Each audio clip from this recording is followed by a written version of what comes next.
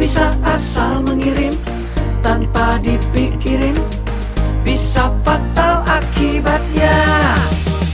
Bersihkanlah udara kita dari kebenaran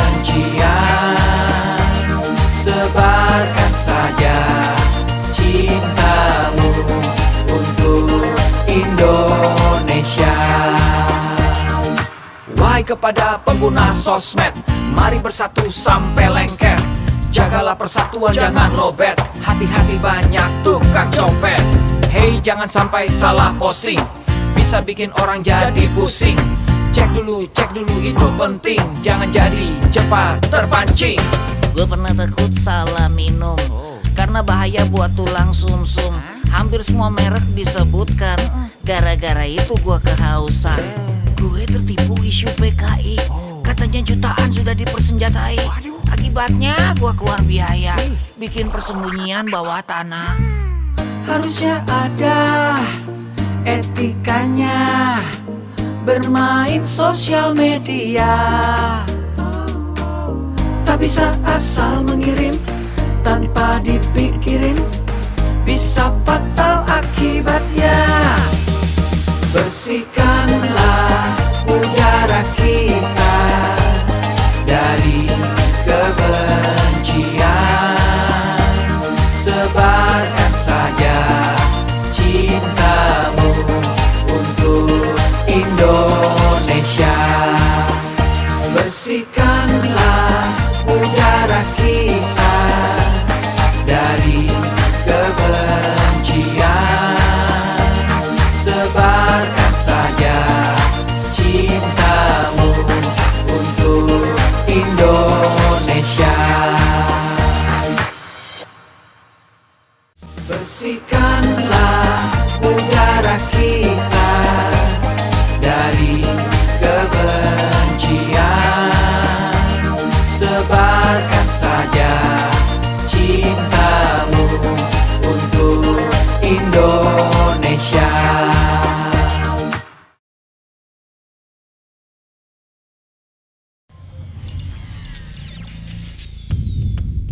Datang di Indonesia Makin Cakap Digital.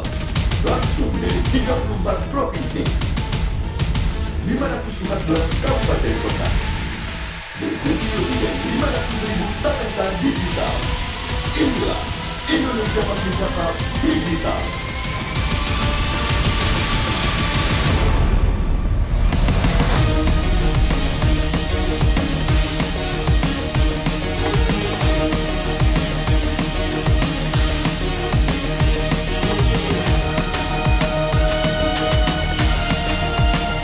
Saya luncurkan program literasi digital nasional hari ini.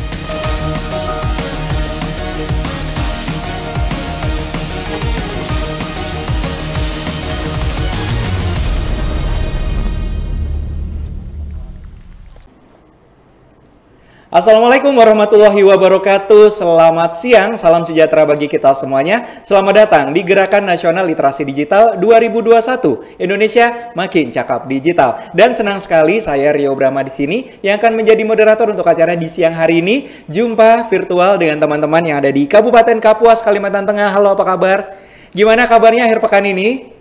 Semangat ya untuk belajar dulu ya sebelum menghabiskan liburan akhir pekan ya teman-teman ya. Dan jangan lupa tetap patuhi protokol kesehatan. Baik, saya ingin bercerita sedikit tentang latar belakang adanya acara ini ya teman-teman ya. Didasari oleh fakta bahwa teknologi informasi dan komunikasi di Indonesia yang rupanya makin berkembang pesat. Dan hal ini dibuktikan oleh angka penetrasi pengguna internet di Indonesia yang telah mencapai 73,3 persen. Nah, berdasarkan dari fakta tersebut, Presiden Republik Indonesia Joko Widodo menetapkan percepatan teknologi digital untuk mencapai digital nation sebagai salah, satu visi utama dalam masa pemerintahannya yang kedua. Dan sesuai dengan arah arahan visi Presiden tersebut, Kementerian Komunikasi dan Informatika bersama mitra jejaring GNLD Berkreasi telah menyusun sebuah peta jalan literasi digital tahun 2021 hingga 2024 guna meningkatkan partisipasi digital masyarakat. Dan dalam peta jalan ini dirumuskan empat kerangka dalam menyusun literasi digital, yaitu ada digital skills, ada digital etik, ada digital safety dan juga ada digital culture. Oleh karena itu, Kementerian Komunikasi dan Informatika, khususnya Direktorat Pemberdayaan Informatika dan Direktorat Jenderal Aplikasi Informatika akan melaksanakan kegiatan literasi digital untuk meningkatkan kemampuan dan pemahaman masyarakat dalam penggunaan teknologi, informasi, dan komunikasi dan juga internet yang benar melalui implementasi program literasi digital yang meliputi 34 provinsi dan 514 kabupaten maupun kota dan akan melibatkan 110 mitra strategi siberkreasi dan juga stakeholder terkait lainnya. Baik, saya juga ingin membacakan tata tertib yang harus ditaati oleh seluruh peserta selama acara ini berlangsung. Tetap mematuhi dan mengikuti protokol kesehatan dan mematikan mic atau di mute ya teman-teman dan jangan lupa untuk tetap menyalakan kamera video. Tidak diperkenankan untuk coret-coret pada layar, tidak diperkenankan juga menyala pada saat narasumber sedang menyampaikan materi dan untuk sesi tanya jawab nanti akan ada di kolom chat ya teman-teman. Jangan lupa untuk mengerjakan pretest dan juga post test dan peserta juga akan mendapatkan e-certificate setelah mengisi post test melalui melalui link yang akan dibagikan di kolom chat. Dan aplikasi Siberkreasi ini dapat di-download di App Store maupun di Google Play. Untuk menambah semangat kita di siang hari ini, mari kita bersama-sama menyanyikan lagu kebangsaan Indonesia Raya 3 stansa dan akan dilanjutkan video arahan dari Presiden Joko Widodo.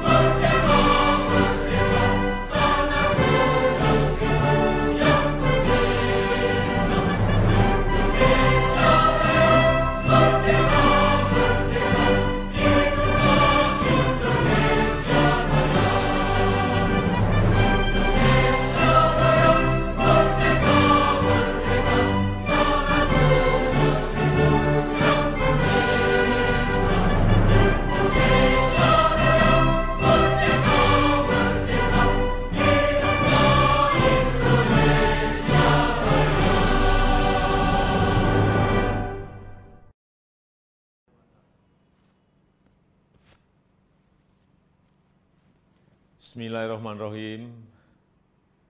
Assalamualaikum warahmatullahi wabarakatuh. Salam sejahtera bagi kita semuanya. Shalom, Om Swastiastu, Namo Buddhaya, Salam Kebajikan. Yang saya hormati para Menteri Kabinet Indonesia Maju, para Gubernur, Bupati, dan Wali Kota di seluruh tanah air Indonesia, hadirin dan undangan yang berbahagia. Pandemi membuka kesempatan luas bagi kita untuk melakukan transformasi digital secara besar-besaran. Pembangunan infrastruktur digital terus kita percepat. Ekonomi digital terutama untuk UMKM terus diperbanyak dan terus ditingkatkan. Pemerintahan digital juga terus diperkuat dan masyarakat disiapkan agar lebih cakap digital. Insya Allah pada akhir tahun 2022, 12.548 desa kelurahan akan terjangkau sinyal 4G. Percepatan 10 tahun lebih maju dari rencana sebelumnya yang selesai pada tahun 2032. Infrastruktur digital tidak berdiri sendiri. Jadi saat jaringan internetnya telah tersedia, harus diikuti kesiapan-kesiapan pengguna internetnya agar manfaat positif internet dapat dioptimalkan untuk membuat masyarakat semakin cerdas dan produktif. Sebaliknya, efek negatifnya harus dapat terus ditekan, terus diminimalkan. Bapak Ibu yang saya hormati, tantangan di ruang digital semakin besar, sangat besar. Konten-konten negatif terus bermunculan. Kejahatan di ruang digital terus meningkat. Hoax, penipuan daring, perjudian, eksploitasi seksual pada anak, perundungan siber, ujaran kebencian, radikalisme berbasis digital perlu terus diwaspadai karena mengancam persatuan dan kesatuan bangsa. Kewajiban kita bersama untuk terus meminimalkan konten negatif, membanjiri ruang digital dengan konten-konten positif, banjiri terus, isi terus, dengan konten-konten positif.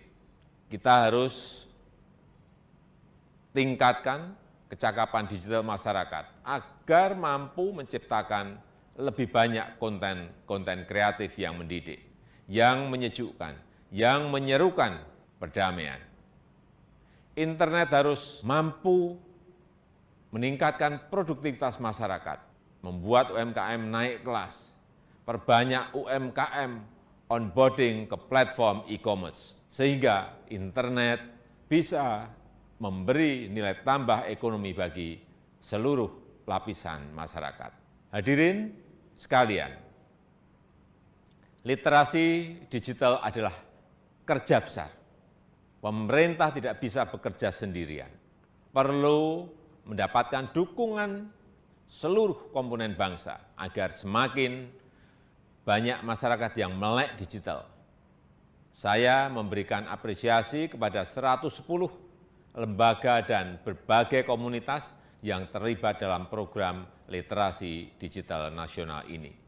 Saya harap gerakan ini menggelinding dan terus membesar, bisa mendorong berbagai inisiatif di tempat lain, melakukan kerja-kerja konkret di tengah masyarakat agar makin cakap memanfaatkan internet untuk kegiatan edukatif dan produktif.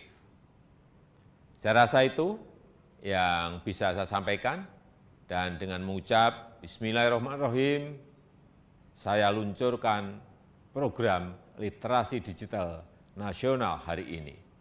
Terima kasih. Wassalamualaikum warahmatullahi wabarakatuh. Om Santi Santi Santi Om, Namo Buddhaya.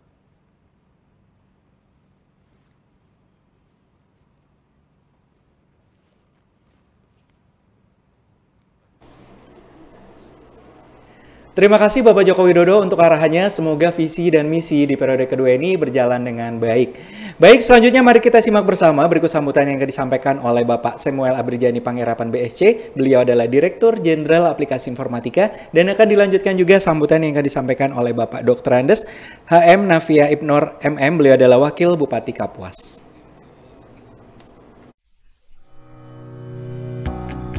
Pastikan kita selalu menerapkan protokol kesehatan dengan menggunakan masker, menjaga jarak, dan selalu cuci tangan. Assalamualaikum warahmatullahi wabarakatuh. Salam sejahtera bagi kita semua. Om Swastiastu, Namo Buddhaya, salam kebajikan. Rekan-rekan yang saya hormati, puji syukur kita panjatkan kehadiran Tuhan Yang Maha Esa atas berkat dan rahmatnya kita dapat berkumpul secara virtual dalam keadaan sehat di tengah situasi pandemi COVID-19. Semoga kita semua senantiasa dilimpahi dengan kesehatan dan damai sejahtera dalam upaya kita melawan pandemi COVID-19.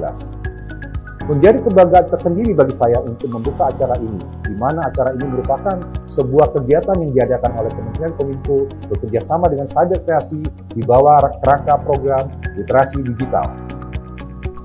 Sebagaimana yang telah kita ketahui bersama, kehadiran pandemi dan pesatnya perkembangan teknologi telah mengubah cara kita beraktivitas dan bekerja. Kehadiran teknologi sebagai bagian dari kehidupan masyarakat inilah yang semakin mempertegas bahwa kita sedang menghadapi era disrupsi teknologi. Untuk menghadapi hal tersebut, kita semua harus mempercepat kerjasama kita dalam mewujudkan agenda transformasi digital Indonesia. Rekan sekalian yang berbahagia, salah satu pilar penting dalam mendukung terwujudnya agenda transformasi digital adalah menciptakan masyarakat digital di mana kemampuan literasi digital masyarakat memegang peranan penting di dalamnya.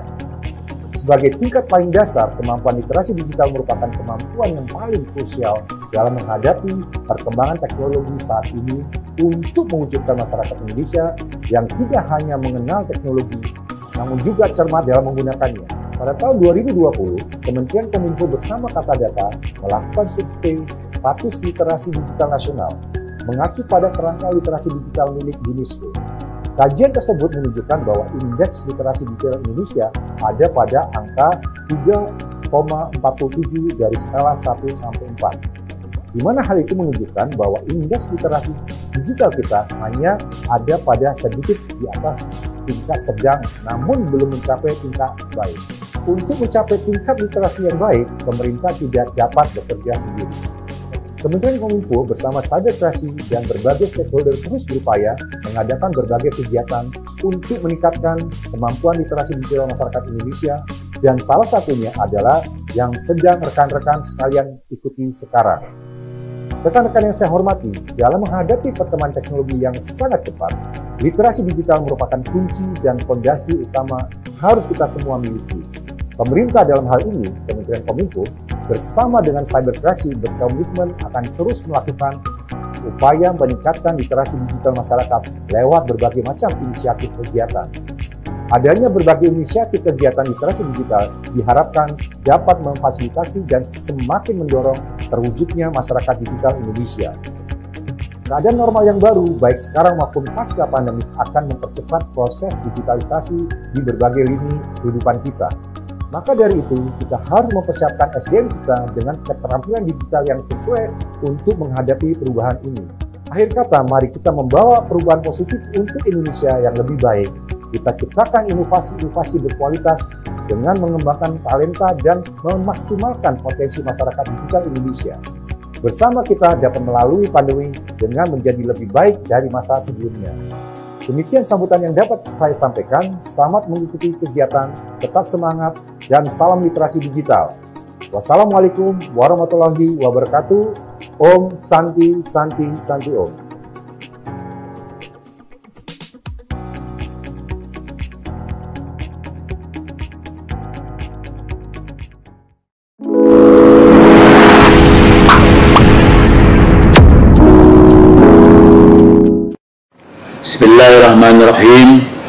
Assalamualaikum warahmatullahi wabarakatuh.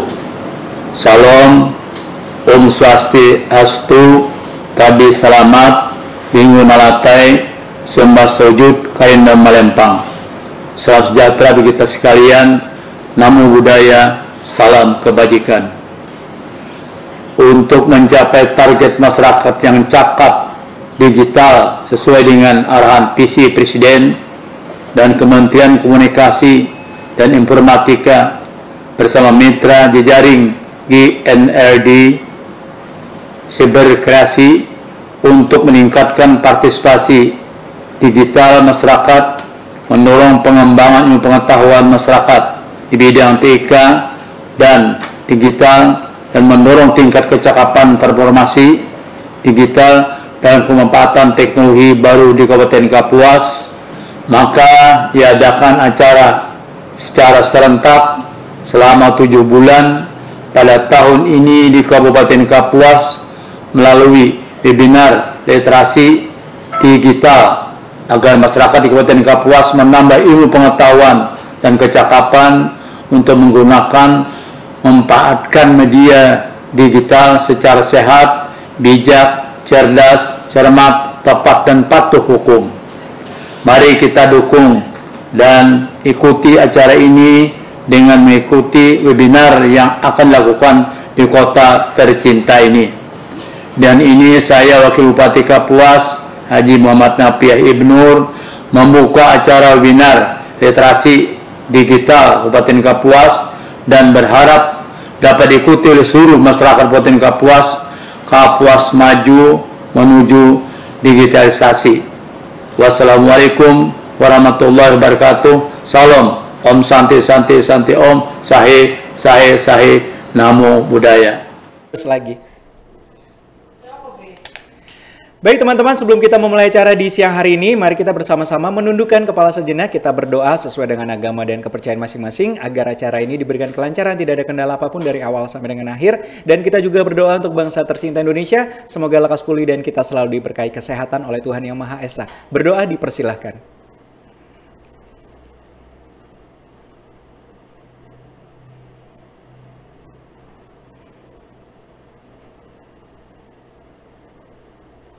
Berdoa diakhiri. Baik teman-teman di Kabupaten Kapuas, semangatnya gimana nih ya? Oke, buat teman-temannya mungkin yang masih belum tahu tentang adanya acara yang luar biasa ini boleh dikasih tahu teman-teman ya karena acara masih belum dimulai nih ya sesaat lagi ya. Dan saya ingin memperkenalkan untuk keempat narasumber yang sudah hadir untuk memaparkan materi saat lagi ya teman-teman ya. Saya akan perkenalkan dulu untuk narasumber kita yang pertama ada Bapak Ferianto S. Hood Beliau adalah relawan teknologi informasi komunikasi Indonesia akan membahas tentang dampak dari penyebaran berita hoax. Dan kemudian berikutnya ada Ibu Ana Yulinda, seorang guru penggerak angkatan satu di Kabupaten Kapuas akan membahas tentang Digital World in Classroom, kemampuan literasi digital yang wajib dimiliki guru generasi alpha. Dan kemudian berikutnya untuk yang ketiga ada KOL kita, ada Kak Bella Putri SIKOM. Beliau adalah seorang entrepreneur dan content creator. Akan membahas tentang mengenalkan budaya Indonesia melalui literasi digital. Dan berikutnya ada narasumber kita yang keempat, ada Bapak Dr.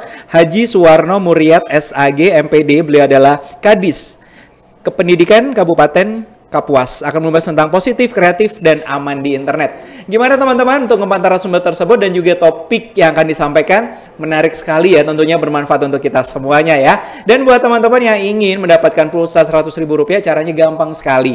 Setelah narasumber sudah menyampaikan materi, silahkan langsung aja drop di kolom chat ya teman-teman ya untuk pertanyaan-pertanyaan yang diajukan untuk narasumber tersebut. Kita akan memilih untuk 10 orang yang beruntung, kita akan memberikan reward masing-masing pulsa sebesar Rp100.000. Baik, langsung saja kita hadirkan untuk narasumber kita yang pertama. Selamat siang Pak Ferianto. Selamat siang Mas. Apa kabar Bapak? Alhamdulillah baik Mas. Di siang yang cerah ini cerah ya di sana ya. Wah, ini sebenarnya sudah musim pancaroba ya, mau peralihan ke musim hujan ya. Mungkin cuacanya di beberapa kota panasnya ya, panasnya panas kebangetan ya, Pak ya. ya. Karena akan mengalami hal tersebut ya. Tapi semua semoga bisa menjaga kesehatan ya karena musim pancaroba pancaroba ini banyak uh, mungkin teman-teman yang beralih uh, mungkin ada yang pilek biasanya seperti itu ya. Oke, baik Pak Ferianto akan membahas tentang dampak dari penyebaran berita hoax ini. Ini memang sangat menyesatkan sekali ya. Wah, kita harus mengenali apa sih berita hoax ini. Selengkapnya silakan Pak Ferianto. Oke, makasih Mas. Assalamualaikum warahmatullahi wabarakatuh. Selamat siang dan salam sejahtera untuk kita semua. Salam, Om Swastiastu, Namo Buddhaya, salam kebajikan. Oke lah teman-teman, eh, hari ini saya akan sedikit ya memaparkan materi ya tentang hoak. Ya bisa dikatakan kita hanya sharing saja lah. Kalau misalnya ilmu teman-teman juga bisa searching di Google, di Google ya. Teman-teman bisa apa namanya belajar sendiri gitu. Tapi ini yang saya paparkan berdasarkan pengalaman saya pribadi itu. Sebelum mulai mungkin saya sapa teman-teman narasumber saya ya. Yang pertama ada Bu Ana, ada Kak Bella, lalu ada Pak Swan, oh, eh, sama nama Bapak tuh Pak Suwarno. Salam kenal Pak, saya Ferianto dari Kuburaya, Kalimantan Barat. Lalu juga tak lupa saya sapa teman-teman di Kabupaten Kapuas, Kalimantan Tengah. Mudah-mudahan dengan mengikuti acara ini bertambah ilmu pengetahuan kita, membuka wawasan kita tentang literasi digital itu seperti apa. Oke, mohon izin share screen ya, teman-teman.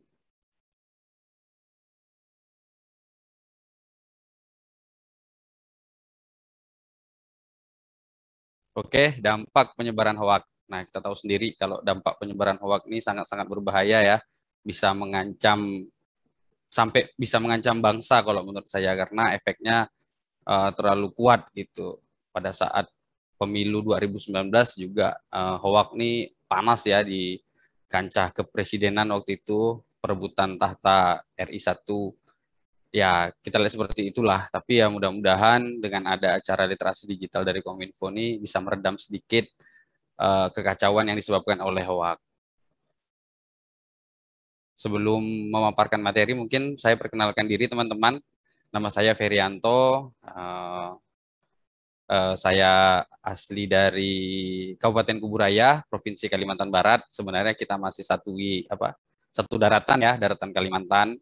Cuman di sana di Kalimantan Tengah di Kabupaten Kapuas. Lalu aktivitas saya sehari-hari saya kebetulan adalah uh, apa namanya bekerja di salah satu perusahaan navigasi penerbangan, perusahaan BUMN milik pemerintah namanya Air Indonesia. Mungkin ada beberapa teman yang belum mengetahui karena memang perusahaan BUMN ini bisa tergolong baru. Terbentuknya 2012 tapi mulai operasionalnya 2014. Adapun kegiatan Air Indonesia ini adalah untuk navigasi penerbangan. Kalau teman-teman pernah lihat pesawat bisa naik dan turun, nah itu uh, dihandle oleh perusahaan kami. Dihandle oleh orang yang namanya Air Traffic Control. Nah, tapi saya sendiri bukan ATC ya, saya adalah teknisi IT and support networking di perusahaan itu. Jadi hari-hari kerjaan saya yang handle server, handle komputer yang berhubungan dengan TIK. Lalu berikutnya kegiatan saya sehari-hari adalah saya founder dari Yali Communication. Yali Communication ini adalah lembaga kursus dan pelatihan komputer.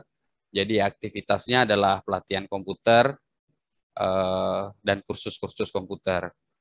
Berikutnya yang udah dijelaskan sama Mas moderator tadi, saya adalah uh, ketua Relawantik Kalimantan Barat, di mana uh, kegiatan Relawantik ini adalah pemberdayaan uh, masyarakat di bidang TIK, uh, masyarakat yang tertinggal jauh ya, tertinggal jauh di bidang TIK ini inilah kita beri apa namanya pelatihan-pelatihan, kursus-kursus dan pemberdayaan-pemberdayaan seperti itu. Yang berikutnya saya juga kebetulan founder di komunitas blogger Kuburaya di mana komunitas blogger ini aktivitas sehari-hari adalah belajar blog, eh, belajar website, coding, lalu belajar SEO, search engine optimization. Oke, kurang lebih uh, aktivitas saya dari pagi sampai malam ya oprek-aprik komputer lah, otak-atik sistem. Uh, ini ada sosial media saya, teman-teman silahkan jika ingin konsultasi atau ngobrol, ngobrol-ngobrol santai, silahkan ada WA, Instagram, sama Facebook. Lalu ada website saya untuk lihat profil saya lebih detail ya. Nah, hari ini saya akan mempresentasikan uh, terkait hoak, adapun beberapa bahasanya adalah pengertian hoak, dampak penyebaran hoak, lalu bagaimana cara menghindari hoak, cara melaporkan, dan yang terakhir adalah kesimpulan. Sebelum kita masuk ke hoak, mungkin boleh sedikit saya bahas literasi digital ya. Kenapa acara ini diselenggarakan, yang tadi sudah dijelaskan sama moderator ya. Eh, apa sih literasi digital? Nah, literasi digital adalah pengetahuan dan kecakapan empat pilar, yang mana pilar satu dengan pilar yang lainnya tidak bisa dipisahkan. Ada pilar skill, ada pilar etik, ada pilar culture sama safety, yang mana satu dengan yang lainnya ini tidak bisa dipisahkan. Saya ambil contoh, misalnya kita sudah memahami dan uh, mendalami uh, skill ya, misalnya membuat website. Nah, membuat website itu juga juga uh, masih bisa dikatakan be belum balance ya kita juga perlu yang namanya digital safety. Safety itu untuk keamanan, untuk keamanan data yang dibuatkan website, juga untuk data yang membuat website. Nah, website ini saya hanya contohkan. Sebenarnya banyak hal-hal uh, yang lainnya di luar itu seperti itu. Yang berikutnya adalah digital etik. Nah, etika ini yang uh, apa uh, beberapa waktu ini jadi viral ya karena berdasarkan uh, riset Microsoft bahwa netizen Indonesia adalah netizen tidak sopan se-Asia Tenggara. Nah, mudah-mudahan dengan acara ini yang kita laksanakan bisa merubah teman-teman masyarakat kita eh, terkait masalah etika ini. Mudah-mudahan setelah melihat acara ini, menonton acara ini, bisa sadar lah yang tangannya kadang-kadang jahil tuh ya udah tidak jahil. Kadang-kadang yang uh, pingin komen aneh-aneh ya tidak komen aneh-aneh lah, kurang lebih seperti itu. Nah, yang berikutnya adalah digital culture. Nah, kita tidak bisa pisahkan kebudayaan Indonesia karena tanpa budaya itu sebenarnya Indonesia juga tidak bakalan ada di seperti sekarang ya. Nah, malahan sebenarnya kalau menurut saya berbagai suku dan berbagai agama itulah yang menyatukan kita menjadi satu kesatuan negara Republik Indonesia.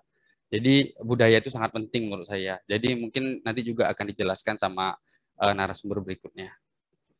Oke, yang berikutnya kita langsung masuk ke etik. Nah, ini juga udah disebutkan tadi bahwa etika adalah kemampuan menyadari, mempertimbangkan dan mengembangkan tata kelola etika digital. Jadi ya kalau misalnya ada misalnya nih ada tema provokasi jangan cepat-cepat komentar, dilihat dulu, dibaca dulu. Lalu kalau lagi emosi jangan cepat-cepat untuk berkomentar. Kadang-kadang kalau kita emosi itu uh, beda nanti Nanti kalau udah masuk kantor polisi ya baru bingung sendiri gitu kan ya. Makanya perlu etika lah dalam ber uh, apa namanya berdigitalisasi lah mulai dari sos sosial media, di web ataupun di mana-mana. Oke, yang berikutnya adalah hoak. Apa sih hoak? Hoak adalah informasi yang sesungguhnya tidak benar. Bisa dikatakan juga berita bohong. Nah, sebenarnya apa sih tujuan? Nah, itu kan kalau orang buat hoak pasti mereka punya tujuan. Tujuannya adalah agar kita merasa tidak aman, tidak nyaman, dan merasa kebingungan. Sebenarnya dampak negatifnya sangat banyak ya hoak, malah bisa dikatakan ya tidak ada positifnya sama sekali. Lalu dampak penyebaran hoak. Nah ini ada beberapa ya. Yang pertama buang-buang waktu. Ada di riset dari perusahaan cmsconnect.com. Nah di situ kita banyak rugi material dan moral ya, mulai dari uang, tenaga, sebenarnya kan banyak hal-hal yang lebih positif. Misalnya membuat website, desain grafis, membuat video yang bisa bermanfaat dan mungkin bisa untuk menambah pendapatan kita. Tapi kalau misalnya kita fokus ke hoak, ya gitu-gitu aja hidup kita kan, tidak maju-maju. Oke, yang berikutnya adalah pengalian isu. Nah, ini hati-hati ya teman-teman. Banyak hacker dan phishing menggunakan pengalian isu untuk menjebak kita, mm, mencari informasi email, password, dan lain-lain dari uh, hoax ini. Jadi, ini misalnya contoh, dulu ada game namanya COC. COC itu kalau mau naik level 1 ke 10 itu perlu yang namanya GEMS. Ada beberapa website yang menyediakan bahwa eh, apa namanya menyediakan gem gratis untuk naik level. Akhirnya begitu orang masuk di website itu ngisilah username, password, email, pas email dan lain-lain. Nah, itu kesempatan untuk hacker dan phishing untuk mencari data pribadi kita. Jadi makanya ya harus hati-hati. Kalau mau main game ya main game lah yang benar gitu. Jangan cari cara instan. Sebenarnya kalau kita ngomongin masalah game kan itu eh, asiknya tuh di permainan di langkah 1 ke 10 misalnya. Jangan tiba-tiba kita mau di level 10. Nah, itu kurang lebih. Sebenarnya banyak lagi sih uh, pengalian isu bukan hanya di game apa bukan hanya di game itu ya banyak banyak yang lainnya. Oke, yang berikutnya adalah penipuan publik. Nah, penipuan publik ini yang udah dijelaskan tadi juga di lagu ya yang di awal tuh katanya e, masa sih trompet bisa buat kanker? Sebenarnya trompet bukan buat kanker tapi buat doer aja gitu ya. Sebenarnya itu benar. Itu malahan kasihan tukang trompet nggak laku. Akhirnya dia tidak bisa mendapatkan penghasilan. Selain itu juga ada beberapa uh, apa berita bohong yang menjelaskan kalau minuman ada beberapa minuman itu yang banyak pengawet dan lain-lain lah bisa membunuh. Akhirnya perusahaan penyedia minuman itu bangkrut kan. Nah, kalau udah bangkrut ya mau tidak mau akhirnya PHK juga. Akhirnya dampaknya juga ke kita-kita lagi, ke masyarakat lagi. Lalu yang berikutnya adalah kepanikan. Nah, ini saya mau ngasih contoh Ah, ini ada pria di Malang dibunuh gara-gara hoak, dikira informan polisi. Nah, ini kan membuat kegaduhan ya. Jadi ya, kenapa waktu harus dihindari seperti itu? Ya, minimal kalau misalnya kita sudah tahu nih, sudah ikut acara ini, kita itu sudah tahu hoak. Kalau bisa informasi hoak itu stop di kita, jangan lagi disebar ke mana-mana.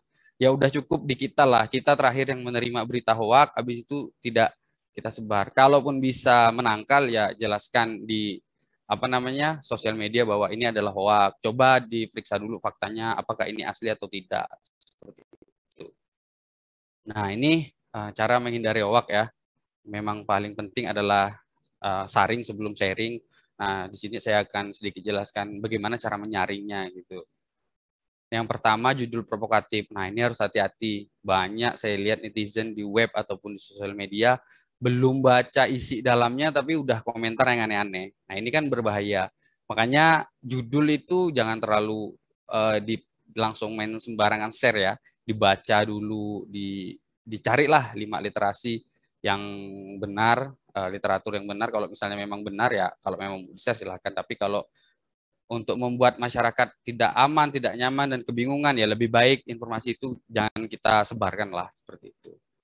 Yang berikutnya adalah mencermati situs alamat situs atau web. Nah, di sini dijelaskan di Indonesia terdapat sekitar 43.000 situs yang mengklaim sebagai portal berita. Nah, kita juga nggak tahu ya yang mana asli, yang mana benar. Ini saya sedikit ya apa sharing ilmu ya, karena kebetulan saya juga tukang buat website, jadi sedikit banyak tahulah yang namanya domain. Jadi kalau kita mau lihat berita itu asli atau tidak, informasi itu benar atau tidak, kita bisa sebenarnya bisa dilihat dari domain. Tapi domain juga belum tentu bisa dipastikan itu benar, tapi minimal ada rujukan lah. Jadi kalau misalnya kita di dunia web itu ya ada yang namanya top level domain. Nah, top level domain itu atas, eh, tengah, sedang, baru yang terakhir bawah. Kalau yang paling tertinggi itu adalah punya pemerintah .go.id atau .desa.id. Kalau ini saya sudah bisa pastikan valid. Kenapa valid? Karena kalau .go.id ini yang bisa mengusulkan hanya kepala dinas, kepala dinas kabupaten atau kepala dinas provinsi. Itu dia butuh SK, butuh KTP, itu ngajukannya juga nggak bisa di perusahaan domain biasa, harus ke Kominfo langsung. Makanya untuk rilis .go.id itu tidak sembarangan. Nah, ini kalau misalnya beritanya dari .go.id udah bisa dikatakan itu valid 100% lah.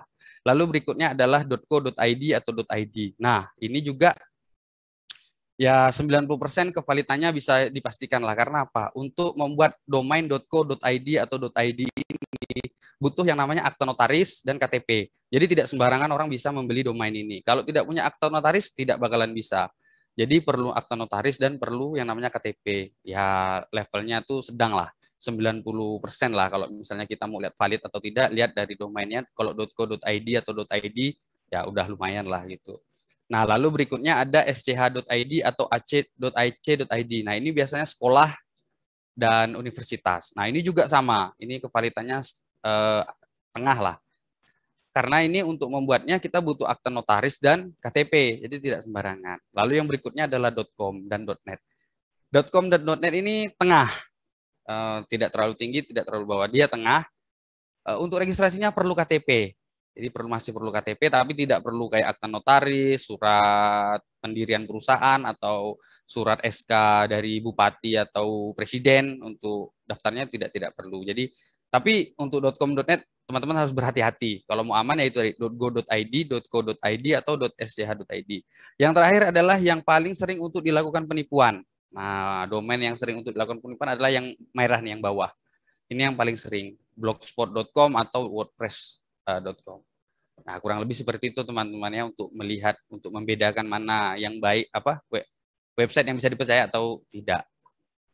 Oke, uh, setelah domain kita lanjut periksa fakta. Nah, ini juga banyak dari teman-teman saya lihat yang masih begitu ada informasi hoax langsung sebar-sebar aja. Carilah minimal lima sumber gitu. Jadi jangan buru-buru cari dulu informasinya kalau misalnya memang udah beberapa artikel menyatakan itu memang apa misalnya memang benar itu fakta ya bolehlah di share gitu tapi kalau baru hanya satu media ya jangan. Terus uh, di awal juga sudah disampaikan cek domainnya ya. Kalau domainnya yang aneh-aneh ya berarti itu memang berita tidak benar lah. Lalu yang ini cek keaslian gambar. Nah, ini juga banyak yang terkecoh ya. Padahal sebenarnya ini hanya manipulasi desain grafis aja. Ini saya beri contoh. Nah ini.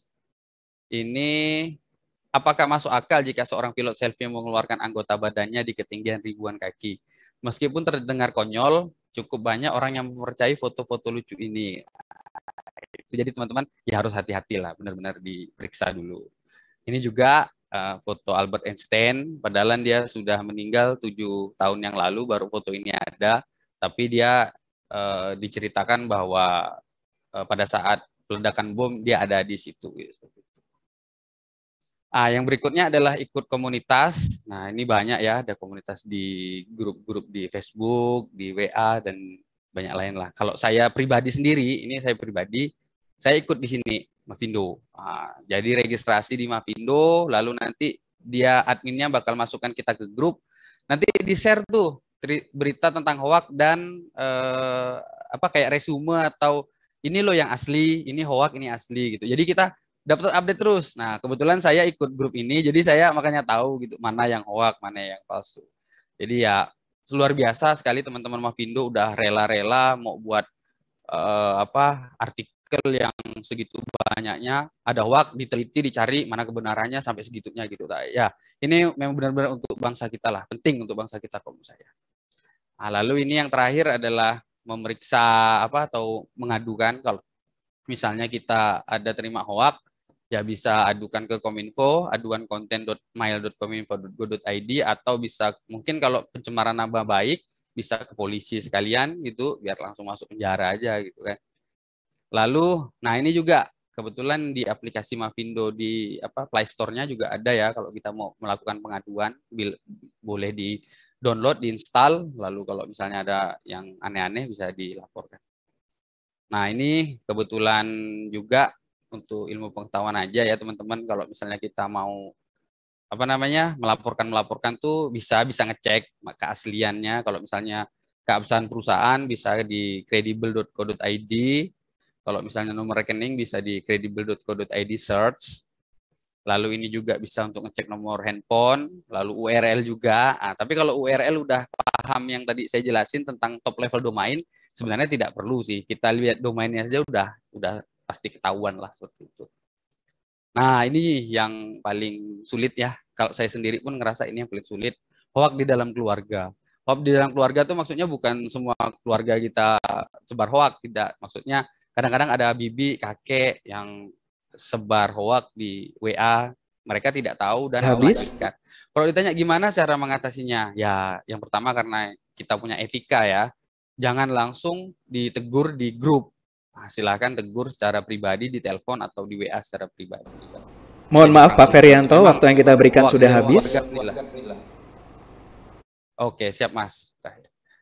Kesimpulan, hoax itu adalah pembunuhan karakter. Hoax tidak ubahnya seperti peredaran narkoba dan pornografi. Bila dibiarkan, berita hoax biasa membahayakan dan merugikan masyarakat.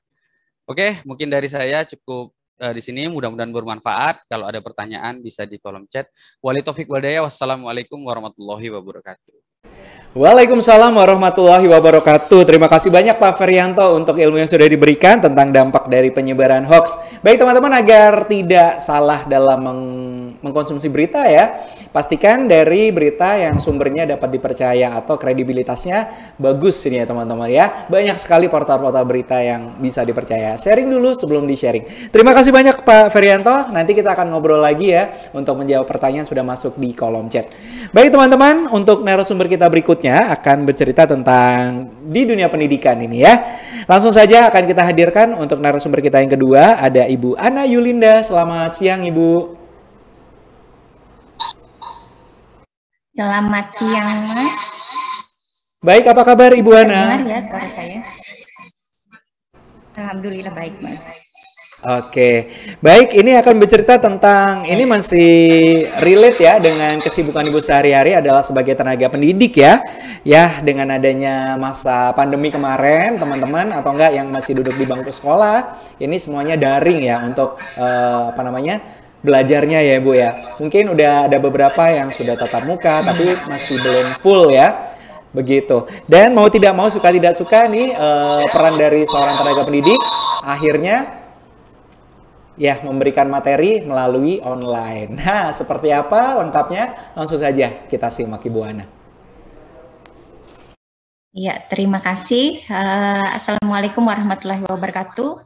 Selamat siang, salam sejahtera dan salam sehat untuk kita semua yang hadir di ruang virtual ini. Pertama-tama saya ucapkan terima kasih kepada tim Cyber Kreasi yang sudah memberikan saya kesempatan untuk sharing ya. Kemudian saya juga ingin menyapa yang telah hadir di ruang ini ada Bapak Kepala Dinas Pendidikan Kabupaten Kapuas.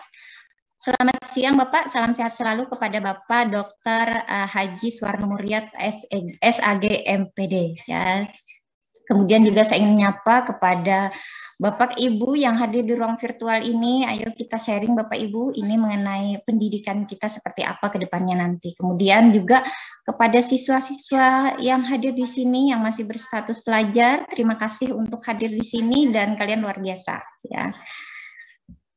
Baiklah, eh, ini masih relate karena saya basic saya adalah pendidik ya, jadi saya ingin eh, sharing mengenai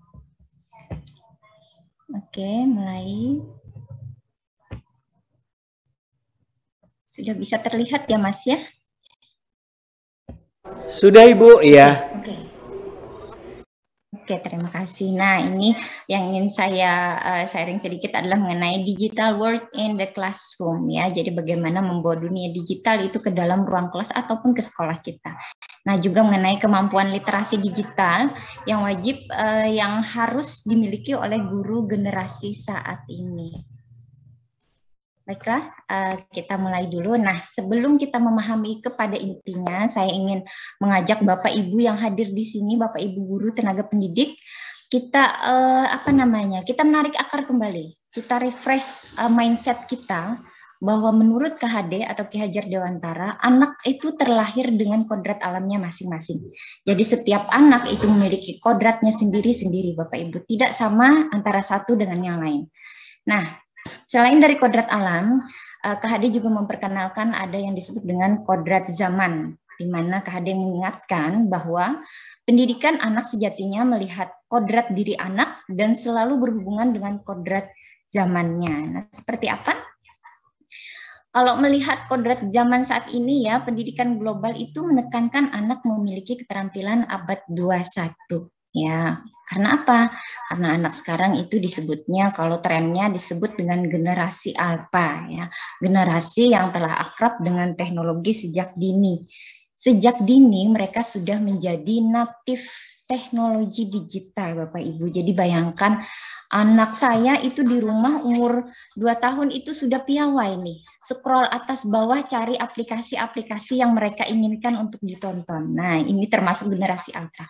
Nah, apa kabar kita guru-guru yang uh, melek digitalnya baru setelah setengah abad umur kita? Nah, ini uh, sebuah apa namanya ya fenomena tetapi kita harus sadari di sini harus uh, ada perubahan mindset dari uh, kita yang kalau boleh saya bilang kita ini termasuk uh, generasi yang agak jadul ya. Jadi harus ada uh, perubahan mindset.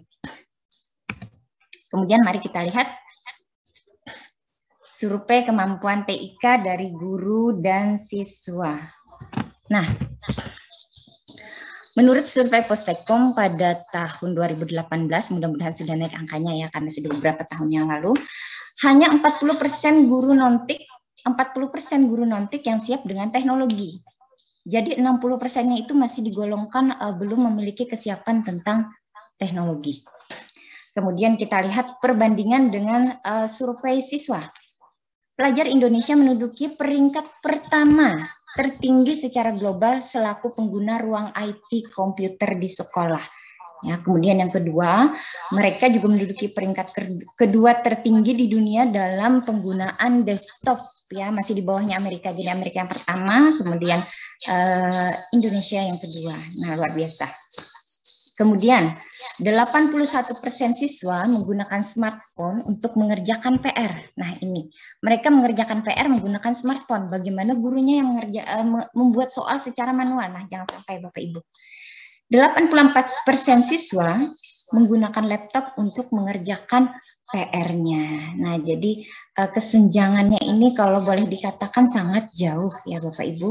Uh, sangat uh, kita perlu meningkatkan gitu. Jadi harus ada mindset perubahan mindset.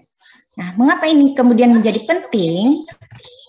Mari kita lihat hasil research dari yang pertama ada Glister tahun 97 Terjadi proses berpikir kritis siswa ketika berhadapan dengan media digital.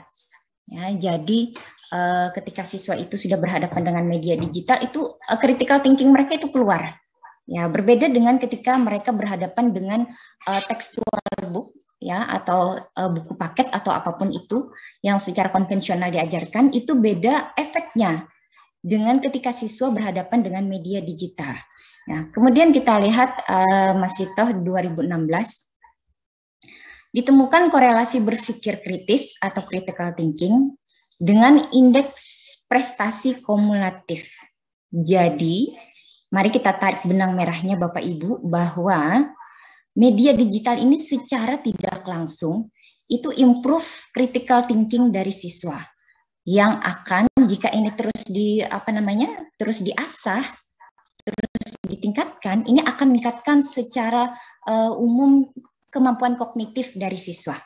Ya, jadi itu uh, benang merah dari dua penelitian tersebut. Alangkah positifnya ketika kita mampu mengaplikasikannya di dalam pembelajaran di kelas. Nah, ini saya sharing mengenai uh, keterampilan abad 21 ya. Tadi sudah dijelaskan oleh uh, Bapak Ferianto mengenai literasi-literasi jenis-jenis literasi di sini ya. Kemudian juga ada kualitas karakter yang diharapkan, kemudian kompetensi yang diharapkan, dan semuanya ini sudah diramu dalam uh, Merdeka Belajar yang diusung Kementerian Pendidikan di bawah uh, pimpinan Pak Menteri Nadiem Makarim ya. Jadi Uh, semua ini yang diasah, semua ini yang diunggulkan untuk uh, terus ditingkatkan oleh Bapak Ibu guru. Kita yang ujung tombaknya Bapak Ibu guru. Nah, bukan cuma uh, program dari Kementerian Pendidikan tetapi turun kepada pemerintah Provinsi Kalimantan Tengah di mana penguasaan TIK ini menjadi isu strategis yang diangkat oleh pemerintah uh, Provinsi Kalimantan Tengah Salah satunya menjadi visi dan misi dari Dinas Pendidikan uh, Provinsi yaitu penguasaan TIK bagi, bagi para pendidik di lingkup Dinas Pendidikan di Kalimantan Tengah. Jadi ini jadi isu strategis perhatian khusus oleh uh, Kepala Dinas Pendidikan Kabup uh, Provinsi Kalimantan Tengah.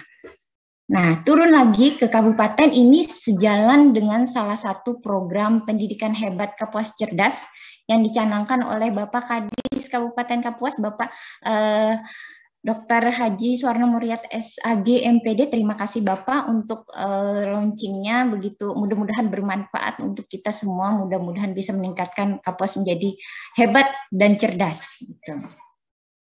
Nah, mari kita pindah ke slide selanjutnya. Nah, keterampilan apa saja yang dimiliki guru, yang perlu dimiliki guru generasi alpha? Kalau selama ini kita Bapak Ibu uh, cuma mengetahui empat kompetensi yang harus kita miliki pedagogik ya kemudian kompetensi kepribadian sosial dan seterusnya nah ini karena kita sudah mengajar generasi yang berbeda generasi yang disebut tadi generasi natif digital maka kompetensi ini akan terus berkembang kita harus mengembangkan diri. Yang pertama apa? Manajemen informasi. Yang perlu kita kuasai adalah mengenai manajemen informasi. Yang kedua adalah pemikiran kritis. Jadi uh, bukan cuma siswanya, kalau kita ngajar harus ada critical thinkingnya, enggak. Kita juga harus critical thinking, Bapak Ibu. Kemudian yang ketiga adalah kemampuan digital atau melek teknologi. Wajib wajib ya. Kita uh, nggak bisa. Siswa 81% gunakan smartphone. Gurunya menggunakan smartphone hanya untuk misalnya media sosial. Jangan. Kita juga harus melek teknologi yang berkaitan dengan pembelajaran. Kemudian yang keempat adalah kreativitas. Yang kelima adalah kemampuan presentasi dan komunikasi. Yang keenam adalah kolaborasi atau pekerjaan tim. Nah, salah satu uh, pesan dari Pak Nadiem Makarim itu hanya ada tiga di program Merdeka Belajar uh, Kementerian ini, yaitu yang pertama adalah uh, literasi, yang kedua adalah profil pelajar Pancasila, dan yang ketiga adalah kolaborasi. Tiga kata kunci yang menjadi uh, concern, sangat concern dari Eh, Kementerian Pendidikan. Oke, okay. nah, bagaimana untuk uh, menjadikan ini sebuah kebiasaan baru? Untuk kemudian diadaptasi menjadi sehingga kita bisa menjadi guru tangguh generasi alpha. Caranya adalah yang pertama adalah sikap proaktif Bapak Ibu. Jadi perlunya kita sikap proaktif ketika kita menghadapi fenomena, oh anak kita seperti ini, jadi eh, kira-kira harus seperti apa kita menanganinya. Ya, jadi setiap fenomena itu ditanggapi dengan proaktif. Kita tidak bisa apatis ya. Yang kedua adalah mengacu pada tujuan akhir, kemudian yang ketiga membuat prioritas, kemudian yang keempat kembali lagi berkolaborasi atau bersinergi.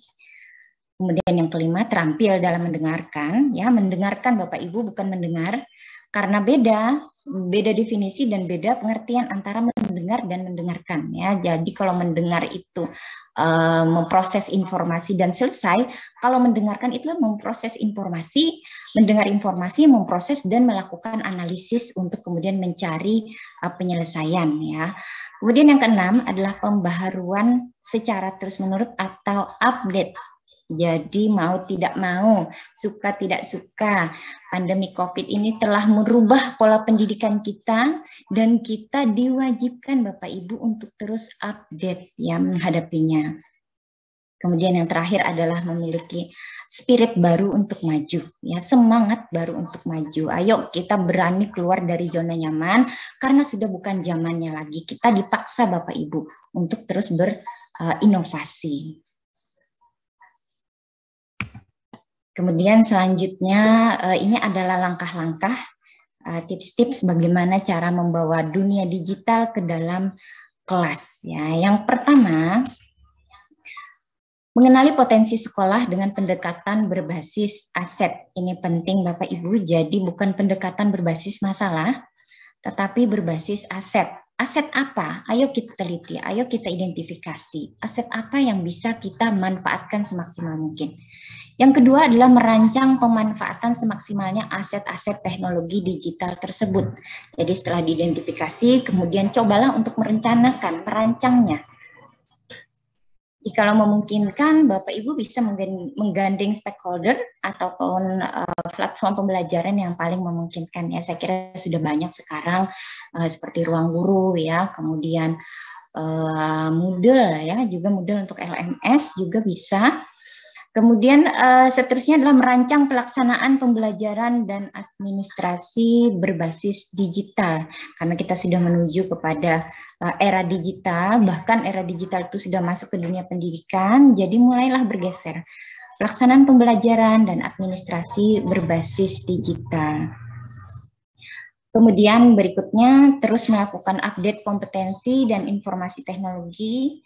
Dan yang terakhir adalah merancang dan melaksanakan pembelajaran berbasis digital di dalam kelas. Ada banyak cara Bapak Ibu. Ada banyak cara ketika kita telah meningkatkan kompetensi, ketika kita telah uh, banyak mengetahui informasi, ketika kita telah menggani stakeholder, maka akan ada timbul inovasi untuk kita bisa merancang uh, membawa digital uh, itu ke dalam ruang kelas. Nah, ini beberapa contoh digitalisasi di bidang pendidikan yang saya uh, rangkum. Yang pertama contohnya adalah PJJ ya, pembelajaran jarak jauh dengan menggunakan TIK berbasis video, misalnya menggunakan aplikasi-aplikasi video, kemudian Skype, kemudian FB, WA, atau Instagram, dan lain-lain. Kemudian yang kedua contohnya adalah penggunaan teknologi dalam berbagai materi, misalnya lewat Google Classroom, kemudian uh, Google Drive, kemudian Share It, dan lain-lain. Kemudian yang ketiga ini yang sudah uh, kita laksanakan beberapa tahun ya Bapak Ibu ada Eraport ya. Kemudian yang keempat adalah PPDB online. Sebagian sudah melaksanakan PPDB online dikarenakan uh, pandemi COVID masih belum memungkinkan ya. Nah ini bisa menggunakan uh, teknologi digital seperti WA, Google Form atau Google Sites ya. Dan masih banyak yang lainnya. Yang kelima, sistem absensi sidik jari Bapak Ibu. Nah, sistem absensi sidik jari ini bisa terintegrasi dengan SMS Gateway.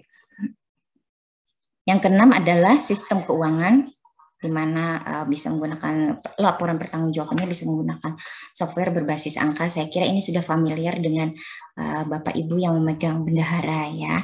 Kemudian yang ketujuh adalah perpustakaan digital. Nah, el, uh, untuk perpustakaan digital ini kemarin hmm, ada dari uh, eh, PT Erlangga ya. Nah, itu bisa memungkinkan Bapak Ibu untuk kita um, gandeng stakeholder seperti itu untuk membawa digital ini ke ruang kelas kita atau ke sekolah kita ya. Yang kedelapan adalah uh, blended learning atau pembelajaran campur ya, pelajaran campur antara daring dan luring modifikasi di mana bisa menggunakan Moodle seperti saya bilang tadi ada Schoology, kemudian ada Google Classroom, dan juga Edmodo dan lain-lain. Ini adalah penyedia eh, aplikasi-aplikasi pembelajaran yang uh, saya pikir sangat komplit ya, di mana uh, setiap aktivitas siswa itu bisa diatur oleh guru walaupun tidak ber, uh, berada dalam tatap muka.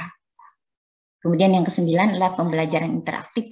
Nah, pembelajaran interaktif inilah uh, yang perlu sangat penting untuk kita uh, tingkatkan karena di sini tadi ketertarikan siswa itu dengan metode pembelajaran yang baru ya. Metode pembelajaran yang e, berbasis digital baru menarik interaktif buat mereka. Jadi lebih e, meningkatkan critical thinking mereka. Contohnya ada quizzes ada Padlet, kemudian Jamboard, Mentimeter, Kahoot, dan masih banyak yang lain.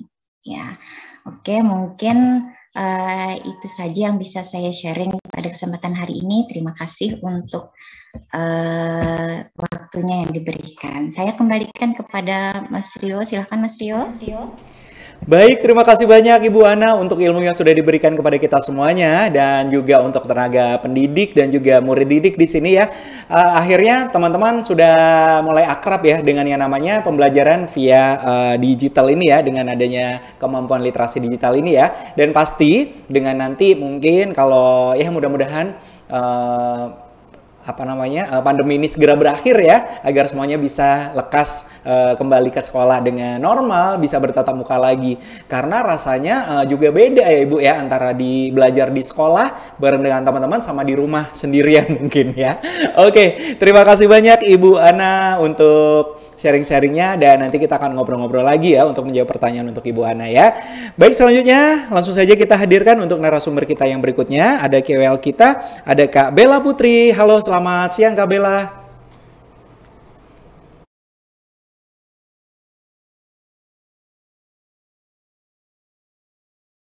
Halo, selamat siang. Cek cek. Halo, selamat siang. Kak Bella. Baik, saya masih belum mendengar suara dengan jelas. Sudah ada. Oke, tes tes boleh cek 1 2 3.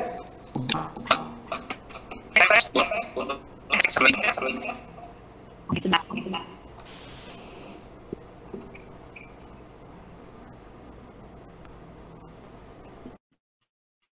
Oke, boleh diulangi lagi Kak Bella. Saya masih belum mendengar suara Kak Bella.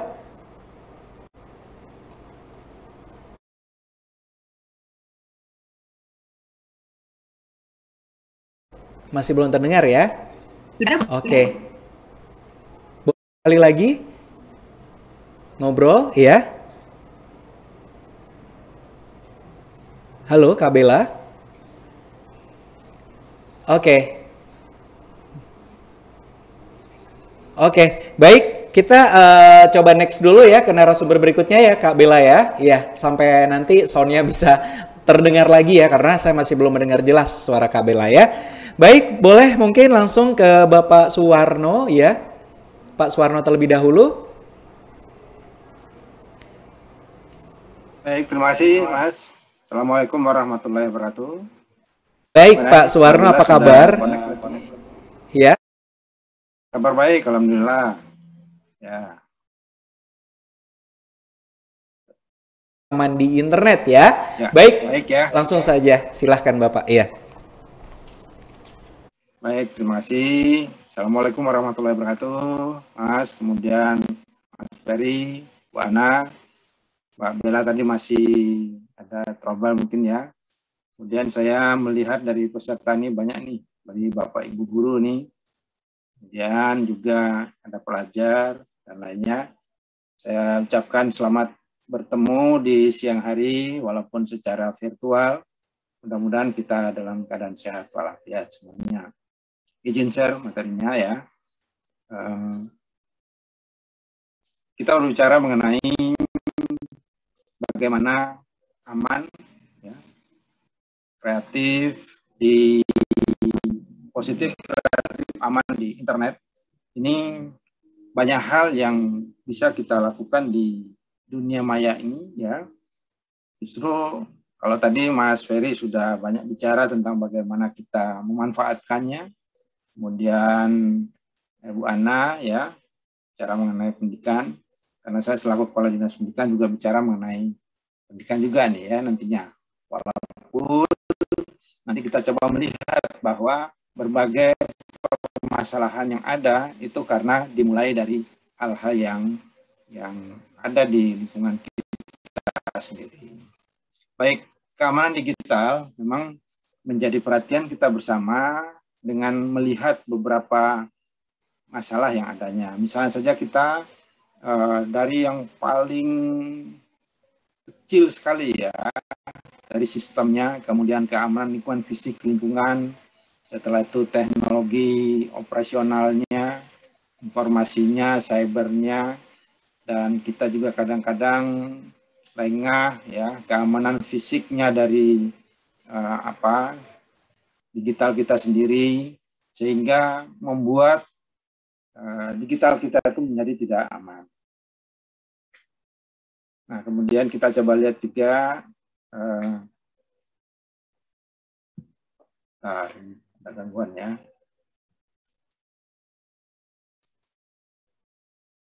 Nah, ini yang menjadi pertanyaan bagi kita. Kenapa kita perlu mengamankan ya jaringan digital kita?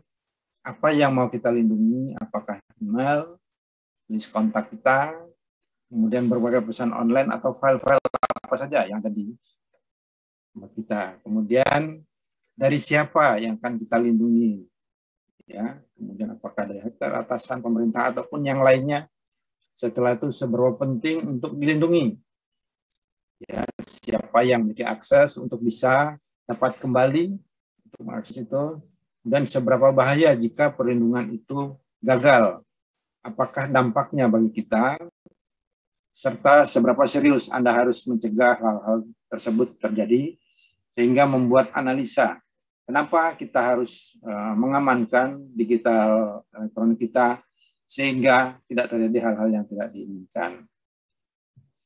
Nah, kemudian ya dari budaya digital itu kita coba melihat dari ada sebanyak lima hal ya yang membuat kadang kita tuh justru uh, membuat apa internet atau bahkan digital kita menjadi tidak aman ya karena kebiasaan atau tindakan yang digunakan oleh sekelompok orang ya kemudian di mana anggotanya dalam melakukan aktivitasnya dimungkinkan menjadi sasaran kekerasan oleh pihak tertentu dan yang berikutnya adalah tujuannya untuk sebagai upaya untuk meminimalisir resiko bagi aktivitas tersebut.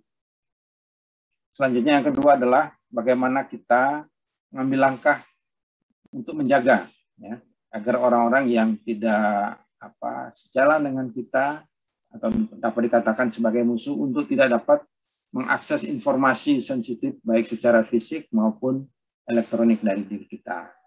Ya, Misalnya saja tadi saya katakan bahwa ada langkah-langkah agar uh, digital elektronik kita itu menjadi aman, jangan sampai fisik dari elektronik kita atau digital kita itu dipegang orang ya, sehingga dia mungkin saja mengetahui passwordnya, kemudian apa yang lainnya ya.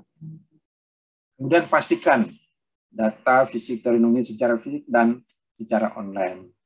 Kemudian jangan menyimpan data sensitif dan membukanya di tempat yang sembarangan. Nah, ini yang paling penting bagi kita di era digital seperti sekarang. Kalau kita ingin sukses, ya kita harus berani menerima tantangan.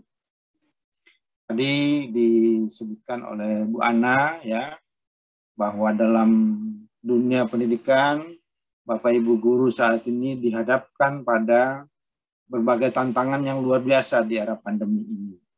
Sehingga untuk melakukan pembelajaran, ya, ya mau tidak mau, ya, karena mungkin tatap muka masih belum efektif, ya, harus menggunakan shift, kita harus melakukan blended learning, memadukan antara proses pembelajaran secara daring maupun secara luring. Ini yang disebutkan Pak Presiden tadi, memang di saat seperti sekarang ini transformasi ya sedang terjadi luar biasa. Sehingga mau tidak mau kita di Indonesia pun harus ya mengikuti dengan seksama direktif ini. Kemudian juga ya kementerian dan pemerintah ya terutama kami di Dinas Pendidikan Kabupaten Kapuas berusaha agar pembelajaran di masa pandemi ini terus berjalan dengan baik dengan berbagai cara dan berbagai upaya telah kami lakukan sehingga tidak terjadi learning loss namanya. Ya, pembelajaran yang terkendala sehingga Bapak Ibu guru sering kami katakan harus mampu mempergunakan uh, sistem digital pembelajaran. Ini kami dorong terus ya bagaimana pemanfaatan uh, mendorong pelayanan publik di era seperti sekarang, di mana dalam sektor pendidikan sangat banyak sekali ya aplikasi-aplikasi yang bisa dimanfaatkan sehingga memerlukan kemampuan bagi Bapak Ibu guru untuk memanfaatkan era digital seperti sekarang. Karena memang tadi disebutkan juga bahwa ada guru yang sudah bagus bisa manfaat digital, tapi ada juga yang masih jadul ya. Nah, ini perlu adanya satu kerjasama antara satu dan yang lainnya agar tidak terjadi uh, loss learning yang saya sebutkan seperti yang tadi. Nah, sehingga memang bagi kami di kalangan dunia pendidikan, terutama saya Kepala Dinas Pendidikan Kabupaten Kapuas, melihat bahwa memang uh, harus adanya reorientasi kurikulum. Ya, Jadi reorientasi ini bertujuan agar antara yang diinginkan oleh pemerintah sejalan dengan apa yang dilaksanakan oleh guru dan juga yang diharapkan oleh orang tua bisa terjadi. Salah satunya adalah dengan digital literasi. Literasi digital yang dimaksudkan adalah bagaimana anak-anak kita positif, ya, positif, kreatif, memanfaatkan digitalnya. Ya, hendaknya eh, apa teknologi yang ada itu diarahkan oleh Bapak Ibu guru agar dimanfaatkan sebesar-besarnya untuk kemampuan peningkatan kemampuannya. Sehingga dengan reorientasi kurikulum yang seperti ini, maka digital literasi, proses pencampuran dengan e-learning sekaligus itu bisa membuat anak-anak kita ke depan menjadi sumber daya manusia yang handal. Mari ya kita kadang melihat jauh ke depan menggunakan alat yang tercanggih sekalipun, namun jangan lupa arahkan teropong itu ke diri kita. Ya, kita lihat diri kita apakah sampai di mana kita memanfaatkan digital sebaik-baiknya, sekreatifnya, inovatifnya. Jangan-jangan kita hanya ingin tapi tidak ada kemauan untuk berinovasi. Atau kita menggunakan alat yang canggih namun setelah diteropong ke diri kita, ternyata kita yang bermasalah. Nah, oleh karena itu, dalam kondisi yang seperti sekarang, lihatlah diri diri kita, ya kemampuan kita, seberapa besar yang sudah kita manfaatkan digital sistem yang ada pada kita. Ya. Nah, ini yang sangat kita khawatirkan sekali ya pada dunia pendidikan. Ternyata dengan uh, digital sistem yang ada apabila kita tidak mempunyai semangat ya apalagi ini jelang hari Sumpah Pemuda gitu ya kita harus meningkatkan uh, komitmen kita dengan tugas-tugas kita komitmen kita pada NKRI khusus pada rekan-rekan guru ayo kita tumbuh kembangkan kembali pedagogi kita kemampuan mendidik kita di era yang seperti sekarang tingkatkan terus kemampuannya agar bisa memanfaatkan digital sistem pembelajaran untuk meningkatkan kualitas sumber daya manusia. Yang paling penting juga kita jangan sampai kehilangan emosional ketika berhadapan dengan siswa yang lebih senang pada gadgetnya. Ayo kita justru satukan frekuensi dengan mereka bahwa memanfaatkan gadget untuk hal yang kreatif efektif dalam meningkatkan sumber daya manusianya karena disebutkan bahwa kunci sukses keberhasilan suatu negara sangat bukan oleh sejauh mana suatu negara melakukan budaya yang kondusif untuk maju. Ini ya. Nah, ini kemudian juga Bill Gates mengatakan bahwa ya orang yang terlalu cepat dunia terlalu cepat berubah merupakan kemampuan manusia untuk beradaptasi, cepat berpikir, mencari solusinya dan juga uh, imajinatif ya sehingga terjadi suatu keunggulan komparasi karena apa kita mampu ya melakukan inovasi dan mengembangkan desain apa yang kita miliki di sekitar kita. Nah, ini untuk Bapak Ibu guru, ayo kita kreativitas di kelas kita ya. Nah, kreatif memanfaatkan antara yang nyata dengan ini ya, kemudian yang lainnya. Mari kita kreativitas di dunia maya ya kemudian ini juga kita ingat bahwa uh, Bapak Ibu guru mendidik anak-anak kita mereka diciptakan berbeda dengan yang ada kita miliki ya kalau zaman Bapak Ibu guru mungkin belum secanggih seperti sekarang ternyata memang harus kita mau tidak mau kita harus terdorong untuk itu ya.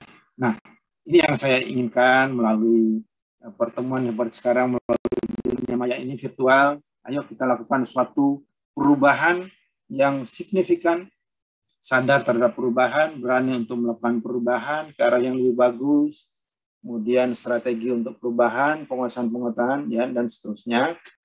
Sehingga apa yang diinginkan menjadi kita orang yang kreatif dalam pemasarannya, kreatif dalam menghasilkan sesuatu, dan juga menjadi suatu apa ya ini dalam kreatif pendidikan. Nah ini yang saya harapkan kepada rekan-rekan guru yang mengikuti webinar di siang hari ini. Ayo kita sama-sama untuk menjadi guru yang kreatif dan produktif demi membangun anak-anak generasi digital. Ya, kami terus di Kabupaten Kapuas ini mendorong untuk education for sustainable development sehingga semua anak itu kreatif. Ya. Masalahnya adalah bagaimana kreativitas itu tidak tergerus oleh pendidikan yang cenderung mematikan kreativitasnya. Nah, ini Bapak Ibu guru sekalian, ya, siapa saya sebagai guru, kemudian menyusun mimpi ke masa depan yang lebih baik, ya, beberapa hal yang bisa dilakukan. Dan yang paling terakhir adalah bahwa tujuan pendidikan nasional kita adalah mengembangkan kemampuan dan bentuk watak serta kepribadian yang bermartabat dalam rangka mencerdaskan kehidupan bangsa yang bertakwa kepada Tuhan Yang Maha Esa, berakhlak mulia, cakap, kreatif, mandiri, dan menjadi warga negara yang bertanggung jawab.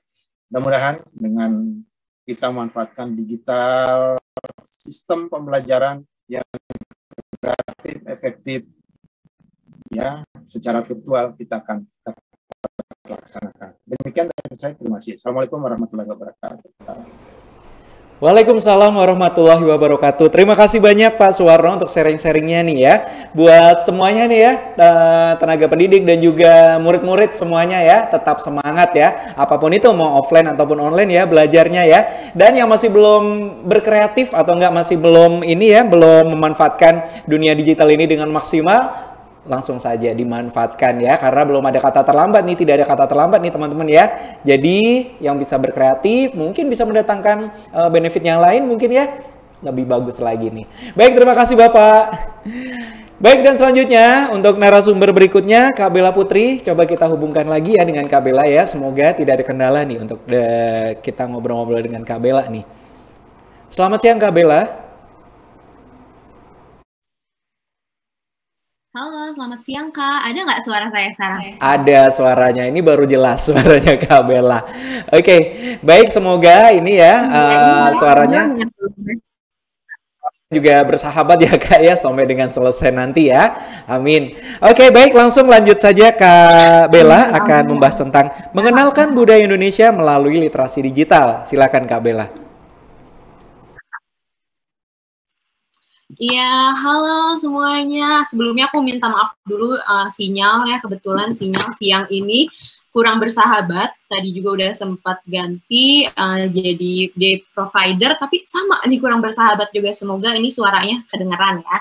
Uh, halo semuanya, selamat siang teman-teman di Kalimantan Tengah, Kapuas, dan selamat siang untuk para narasumber. Ada Pak Su Warno, ada Pak Ferianto, ada Bu Ana. Selamat siang semuanya. Uh, kenalin, aku Bella Putri sebagai content creator. Sehari-hari aktivitasnya sebagai content creator, baik untuk pageku pribadi, perusahaan, ataupun instansi lainnya. Nah, biasanya nih aku uh, kegiatannya di bidang beauty, event organizer, dan juga production house. Sekarang aku mau izin share screen ya. Sebentar.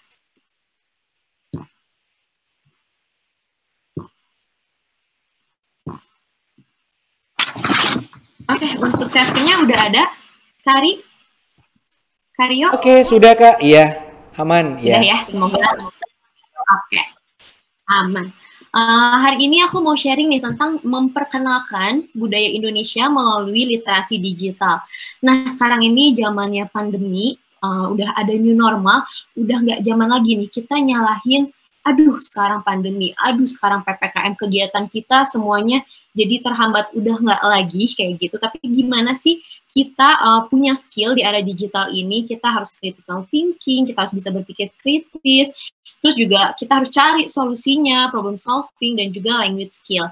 Nah, peningkatan skill dan kemampuan untuk adaptif pada era digital ini penting banget. Nah, adaptif di sini tuh sama dengan menjadi berdaya di dunia digital sekarang. Sama aja nih sama budaya sekarang tuh budaya Indonesia keren-keren banget, apalagi di era digital udah banyak banget ya anak muda uh, yang kreatif, inovatif uh, untuk mengembangkan budaya. Oke, selanjutnya budaya sebagai keseluruhan sistem gagasan, tindakan dan hasil karya manusia yang terbentuk dalam kehidupan masyarakat.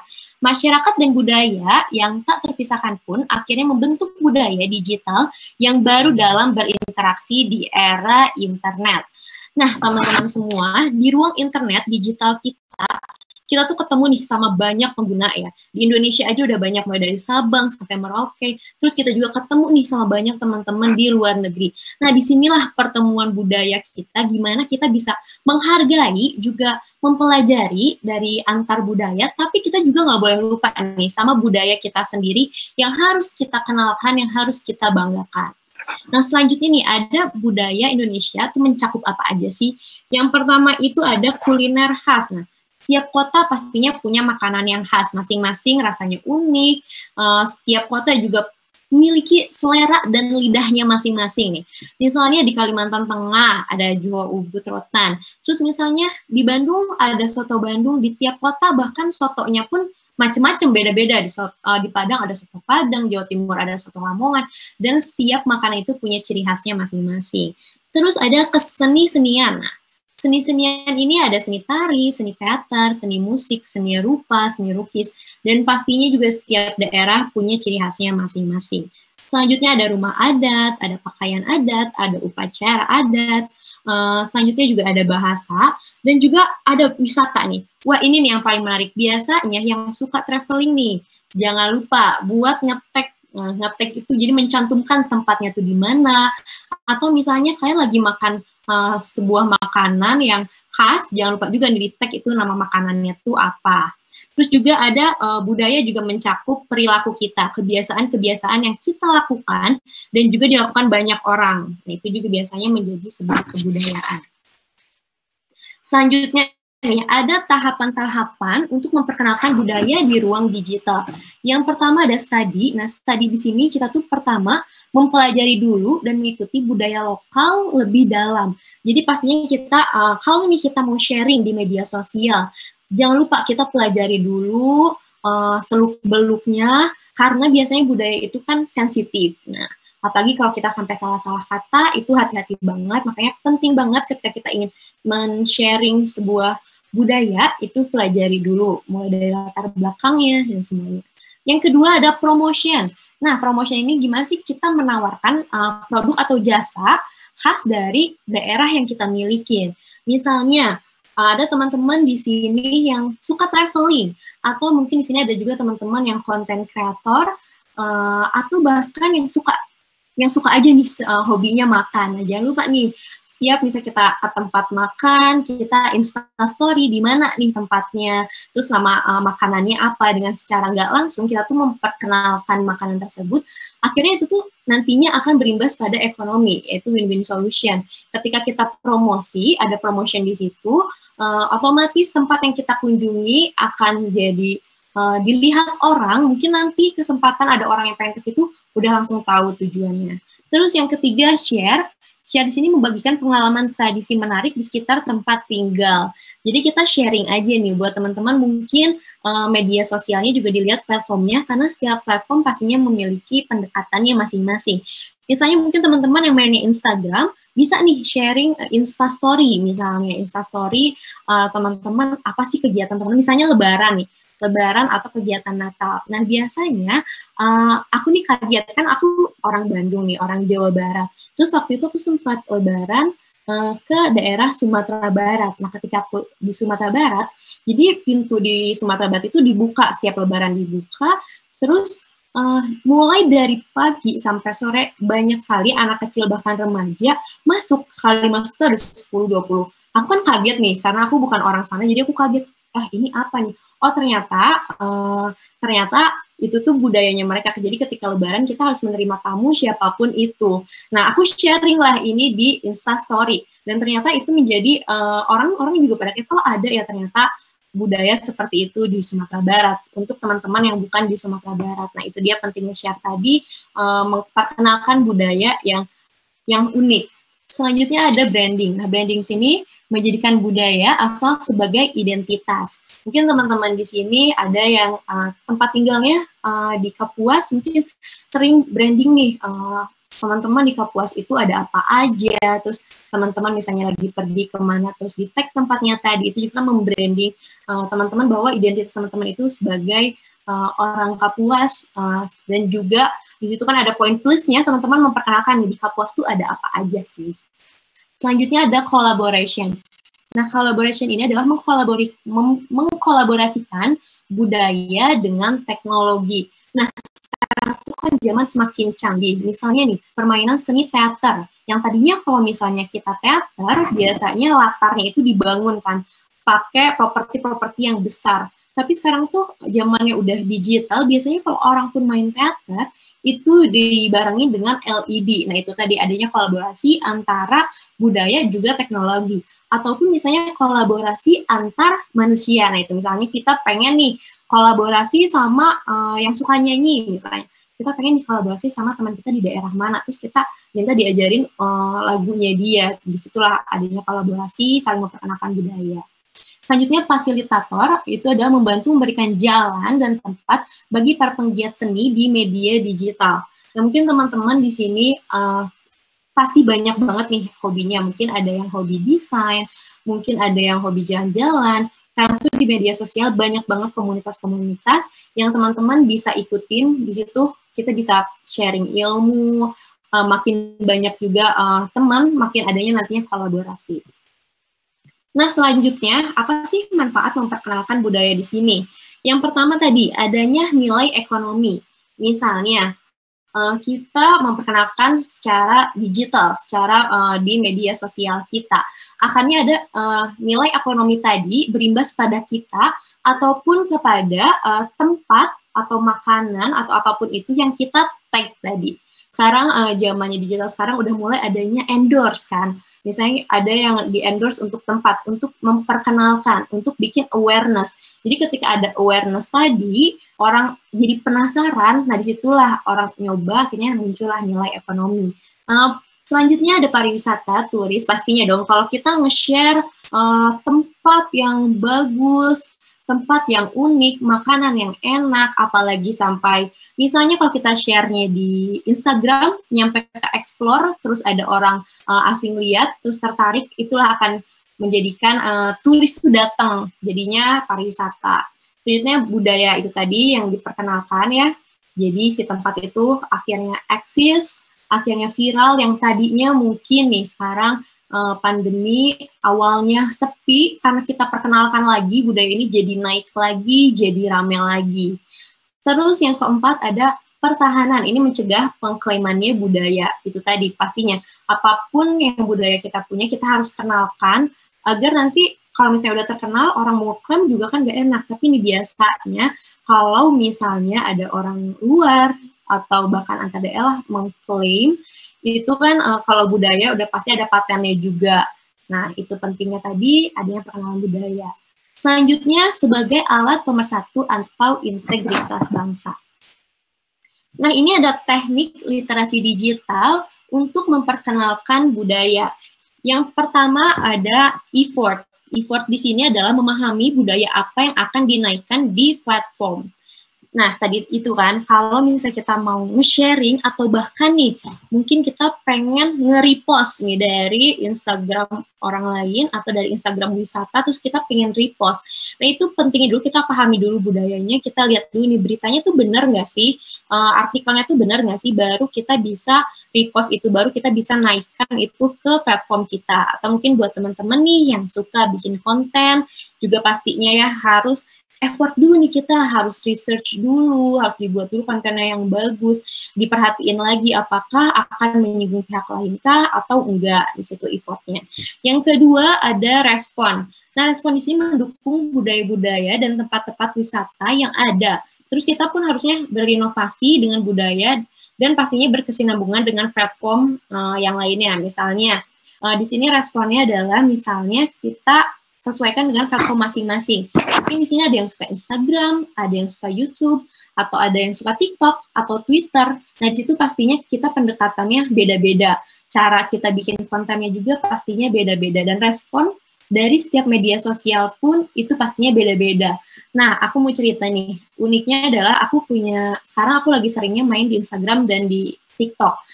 Ini uh, aku orang yang sama dengan media platform yang berbeda, ternyata audiens aku pun berbeda. Jadi misalnya kalau di Instagram aku bikin konten tentang beauty, uh, mereka responnya akan lebih uh, nanya ini kalau misalnya aduh face care-nya apa kak, skin care-nya apa.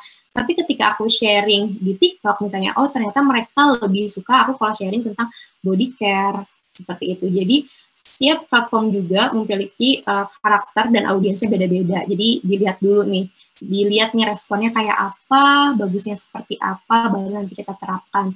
Dan yang pasti uh, outcome, outcome adalah hasilnya. Jadi dari tadi udah effort plus respon sama dengan outcome teknik literasi digital di sini ketika kita memperkenalkan budaya otomatis di situ yang pertama kali adalah awareness-nya. Jadi yang penting orang tuh aware dulu nih sama sama yang kita kenali. Nah kalau setelah aware kan baru dari situ ada munculnya uh, tadi ada ekonomi meningkat dan lain sebagainya. Nah ini dia selanjutnya platform di media sosial. Media sosial memiliki peran besar dalam menyebarkan budaya dan untuk menarik atau mengajak orang lain untuk melakukan yang dimulai pastinya harus dari diri kita sendiri, mengenali budaya kita sehingga bisa menikmati dan bisa membanggakannya. Tadi itu dia media sosial kan banyak banget, jadi pastinya kalau kita mau sharing apa pun, uh, pastiin dulu media sosialnya apa dan kita harus pelajari dulu uh, pendekatannya seperti apa. Apalagi kalau misalnya budaya kan, kalau budaya agak misalnya sedikit sensitif, mungkin kalau misalnya nih teman-teman yang main di TikTok, di TikTok ini mereka uh, audiensnya mungkin lebih santai.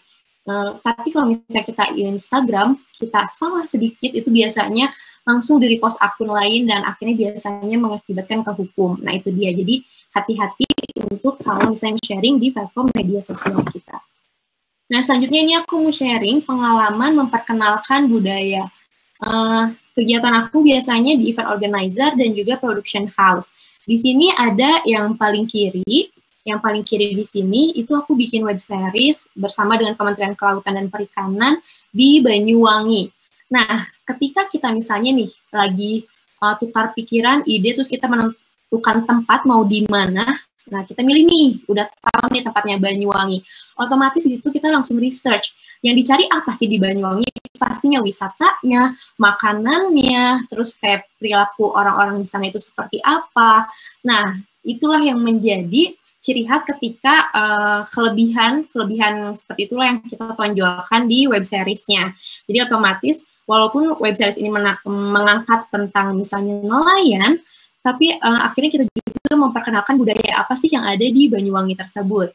Terus yang kedua ini yang di tengah sini ini teater memperkenalkan batik bersama Kementerian Pendidikan dan Kebudayaan memperkenalkan batik uh, dan banyak tamu dari luar negeri. Selanjutnya ini, ini mandiri, ini event. Jadi kita bawa uh, klien dari Jakarta ke Jogja. Nah ini juga kita sama, kita research dulu nih, apa sih budaya yang ada di Jogja ini. Kita masukin lah di sini ada permainan-permainan khas Jogja, terus ada uh, mereka juga pakai baju dari khas Jogja, mereka wisata-wisata yang emang khas dan lagi trennya di Jogja. Ini juga selanjutnya ada event ini global, Astra Global. Jadi kita memperkenalkan budaya Jawa Barat. Jadi mulai dari stage, LED, dan penampilan-penampilannya semua kita masukin apa sih yang ada di Jawa Barat, yang menariknya apa sih.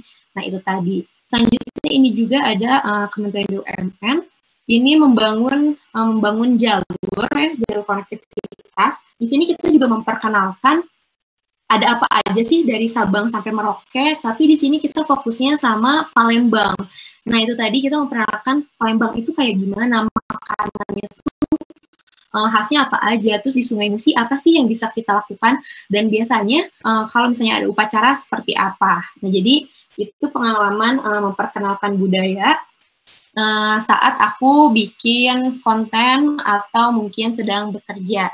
Jadi mungkin teman-teman sekarang, mulai sekarang nih, mulai dari hal simpel aja, misalnya kita lagi makan di suatu tempat, kita mengunjungi su uh, suatu tempat, kita coba upload, terus kita jangan lupa juga kita tag, terus juga dikasih tulisan itu di mana, kasih info-info yang unik dan menarik. Dengan begitu, kita juga membantu uh, tempat tersebut untuk uh, semakin maju atau semakin viral ya kalau sekarang bahasanya. Kalau misalnya udah viral nih biasanya otomatis uh, tempatnya akan lebih diperbagus lagi atau ekonomi dari tempat tersebut akan meningkat dan pastinya berimbas pada masyarakat-masyarakat di sekitarnya. Uh, sekian yang bisa aku sharing tentang memperkenalkan budaya di Indonesia. Terima kasih. Kembali lagi. Bella, Terima kasih banyak Kak Bella. Ini memang penting sekali ya kita mengenalkan budaya Indonesia melalui literasi digital. Jangan sampai teman-teman mungkin uh, banyak yang berpikiran ya kalau misalnya nggak ada konten nih, nggak ada konten menarik. Nah, coba lihat sekitar ya. Mungkin banyak budaya-budaya di sekitar yang skip ya dari teman-teman ya. Makanan kuliner sekitar, khas dari daerah tersebut. Mungkin lingkungan sekitar nih, mungkin banyak tempat tempat-tempat daerah wisata yang di sana masih belum dikenal sama halayak luas ya. Boleh diperkenalkan dari situ. Jadi budaya Indonesia banyak sekali. Jadi teman-teman kalau bisa bikin konten tentang budaya Indonesia lebih bagus lagi nih. Terima kasih banyak Kak Bella untuk sharing-sharingnya. Baik teman-teman, saatnya saya untuk membacakan ya eh, pertanyaan-pertanyaan yang sudah masuk ya di kolom komen ya. Baik, pertanyaan pertama untuk Pak Ferianto dari Rahmal ya tentang banyak sekali ya uh, tindakan cyberbullying, mungkin banyak tindak-tindakan yang uh, yang negatif ya di tersebar di dunia digital ya. Bagaimanakah pandangan dari Pak Ferianto ini soal masalah ini dan bagaimanakah cara yang benar untuk menyampaikan kritik di media sosial dan bagaimanakah cara menghadapi komentar buruk di media sosial? Silakan Pak Ferianto. Oke, Mas, mungkin langsung saya jawab saja ya kalau misalnya kita menanggapi terkait hal-hal apa uh, yang negatif itu kalau menurut saya sih ada tiga, Mas. Yang pertama kalau memang kita sabar, ini perlu perlu mental ya, perlu mental, memang perlu jiwa yang kuat. Kalau saya sih terus terang ini nggak kuat. Yang pertama tuh adalah kita balas dengan riset. Dalam artian misalnya dia bilang seperti ini, ya kalau memang ada riset kan kita cari beberapa sumber kita jelaskan ke beliau kalau mereka kamu ini ada salah gitu kan. Jadi ya eh, kita kita eh, apa menangkisnya dengan ilmu gitu dengan ilmu pengetahuan. Jangan hanya bilang tidak itu bukan itu hoak tapi kita nggak bisa ngasih solusi seperti itu kan. Nah kita selain menjelaskan bahwa dia salah kita juga bisa memberikan apa memberi sanggahan gitu. Tapi terus terang kalau saya sendiri itu tidak mampu saya. Kalau saya itu yang nomor dua kalau misalnya sekali saya biarin, dua tiga kali udahlah. Akunnya tuh saya delete aja lah. Karena daripada buat saya stres, buat saya emosi, ya lebih bagus saya delete itu. Nah, itu yang kedua. Yang ketiga lagi yang di awal saya jelaskan tadi bahwa kalaupun ada hoak ke kita, minimal itu stop di kita. Jadi kita mengurangi hoak-hoak yang aneh-aneh itu mengurangi. Kalau misalnya nanti kita nih udahlah tahu itu hoak, kita sam, di kita share lagi, ya kan akhirnya makin banyak. Kalau misalnya kita stop di kita kan berarti kasus itu selesai. Jadi seperti itu. Jadi ada tiga. Yang pertama ladenin dengan etika kalau memang kuat. Kalau enggak ya hapus aja akunnya. Yang ketiga adalah ya udah kalau memang tahu itu hoak udah stop di kita. Oke Mas, mungkin dari saya hanya itu saja. Terima kasih. Terima kasih. Oke baik setuju sekali ya bagi teman-teman yang mungkin uh, banyak sekali komentar di sosial medianya nih ya bisa di mute atau dimatikan kolom komentarnya nih. Ini adalah tindakan yang sangat bijak ya agar teman-teman tidak kepikiran ya. Biasanya kan orang udah dikomentari negatif wah kepikirannya udah berhari-hari nih jadinya. Press, overthinking jadinya ya oke. Oke okay. Ya, baik terima kasih Pak Ferianto untuk jawabannya. Semoga bisa membantu ya dari pertanyaan yang sudah diajukan oleh Pak Rahmal ya di sini. Baik selanjutnya saya ingin membacakan untuk Ibu Ana Yulinda dari Dar Dharma. Bagaimanakah menghadapi anak-anak sebagai generasi alfa yang sudah terbiasa dengan gadget? Hal ini berbeda dengan para orang tua dulu ya. Dan menghadapi pengaruh buruk dari gadget seperti kecanduan tersebut, silahkan. Ya, baik. Terima kasih. Uh, tadi sudah dibahas kita sama-sama tahu bahwa ini memang sudah zamannya, ya. Jadi sudah memang zamannya anak itu megang HP itu sudah jadi hal yang biasa. Nah, hanya saja tetap harus ada namanya pendidikan itu kan uh, adalah kolaborasi, mas. Jadi uh, pendidikan itu kolaborasi uh, guru, kemudian orang tua dan masyarakat. Ya, jadi eh, tiga komponen ini yang mesti memperhatikan. Yang pertama dari orang tua mungkin lingkungan terkecilnya mereka adalah di rumah, untuk orang tua tetap harus ada screen time untuk anak-anak. Jadi tetap pembatasan sesuai dengan usia mereka karena kan uh, aspek kesehatan di psikologis juga uh, penting untuk dipertimbangkan ya. Kemudian untuk guru uh, untuk guru mungkin saya uh, boleh sarankan untuk mengarahkan anak-anak kita tahu nih, anak-anak kita nih suka dengan media sosial, kemudian mereka suka explore misalnya lihat YouTube, suka uh, searching ataupun yang lain-lain. Nah, karena kita tahu ketertarikan mereka di situ, alangkah baiknya kita menyusun rencana pembelajaran yang memang menggunakan uh, meng, apa namanya memanfaatkan atau memaksimalkan ketertarikan mereka. Nah, seperti contoh yang pernah saya lakukan sebelumnya di program uh, yang berdampak pada siswa pada murid, yaitu kemarin saya uh, lihat kan anak-anak nih suka nih, dia suka uh, handphone kan saya tanya ini anak-anak berapa jam sehari buka handphone, buka media sosial gimana atau gimana. Oh, ternyata mereka memang cenderungnya ke situ daripada mereka buka buku.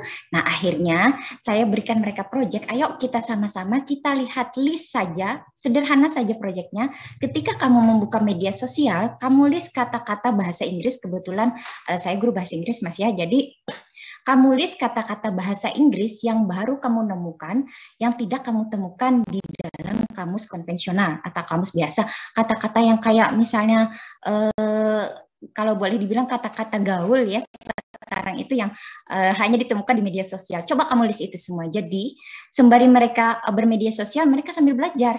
Mereka sambil meningkatkan literasi mereka, meningkatkan uh, vokabulari mereka, jadi tulis, tulis, tulis, tulis. Jadi ada manfaat positif ketika mereka uh, membuka media sosial atau uh, berselancar di dunia maya. Setiap mereka membuka itu, ayo list, ayo list. Akhirnya terkumpullah uh, produk proyek tadi berupa saya kumpulkan, saya kolaborasikan dengan apa yang saya punya, uh, dibikinlah sebuah kamus literasi pelajar milenial. Akhirnya sudah ada tuh, sudah masuk ke penerbit. Alhamdulillah ini betul-betul saya pikir menjadi dampak positif uh, produk positif dari pembelajaran yang memang kita manfaatkan kesukaan anak terhadap uh, gadget tersebut. Saya pikir seperti itu. Kemudian di masyarakat juga uh, sebagai apa namanya siswa itu ketika terjun di masyarakat kita lihat juga orang tua dilihat di rumah. Ini anaknya suka ngumpul sama siapa, kemudian bagaimana pergaulannya, kemudian bagaimana uh, pergaulan mereka di dunia maya, tetap harus ada kontrol dari orang tua. Ya, jadi betul-betul diperlukan kerjasama antara tiga komponen ini, orang tua, masyarakat, dan gurunya supaya anak uh, tetap bisa terjaga, ya, tetap bisa uh, baiklah ke depannya tidak ada mengurangi efek negatif dari penggunaan gadget tersebut. Uh, saya kira seperti itu, Mas. Terima kasih. Baik, terima kasih banyak Ibu Ana untuk penjelasannya dan ini memang peran serta dari orang tua ini sangat diperlukan sekali ya untuk mensupport atau menemani putra-putrinya dalam berselancar di dunia maya karena memang yang bisa mengarahkan adalah kedua orang tua dan ini PR dan juga tugas yang sangat berat ya apalagi di dunia digital seperti ini ya Ibu ya. Baik dan semoga semangat nih ya buat uh, orang tua untuk mendidik putra-putrinya di dunia digital. Terima kasih banyak Ibu Ana. Oke, okay, dan semoga tadi bisa menjawab pertanyaan yang disampaikan oleh Dharma ya. Dan selanjutnya pertanyaan untuk Pak Suwarno dari Repika Sandra. Bagaimanakah agar tenaga pendidik lebih kreatif dalam mendidik agar peserta didik tidak bosan dalam pembelajaran daring? Silakan Bapak. Baik, terima kasih pertanyaan dari Repika. Saya ingin menyampaikan 8 tips ya agar pembelajaran secara virtual itu menarik bahkan itu sebuah tantangan menjadi berinteraksi antara guru dengan uh, siswa secara virtual. Dan saya mengambil contoh kita memanfaatkan misalnya Google Classroom. Ya, yang pertama kita membuat tugas. Tugas di Google Classroom kita berikan di situ. Yang pertama, kemudian yang kedua kita membuat situs atau web kelas untuk siswa kita. Sehingga mereka ketika berkunjung sana, oh ternyata sudah ada webnya ya.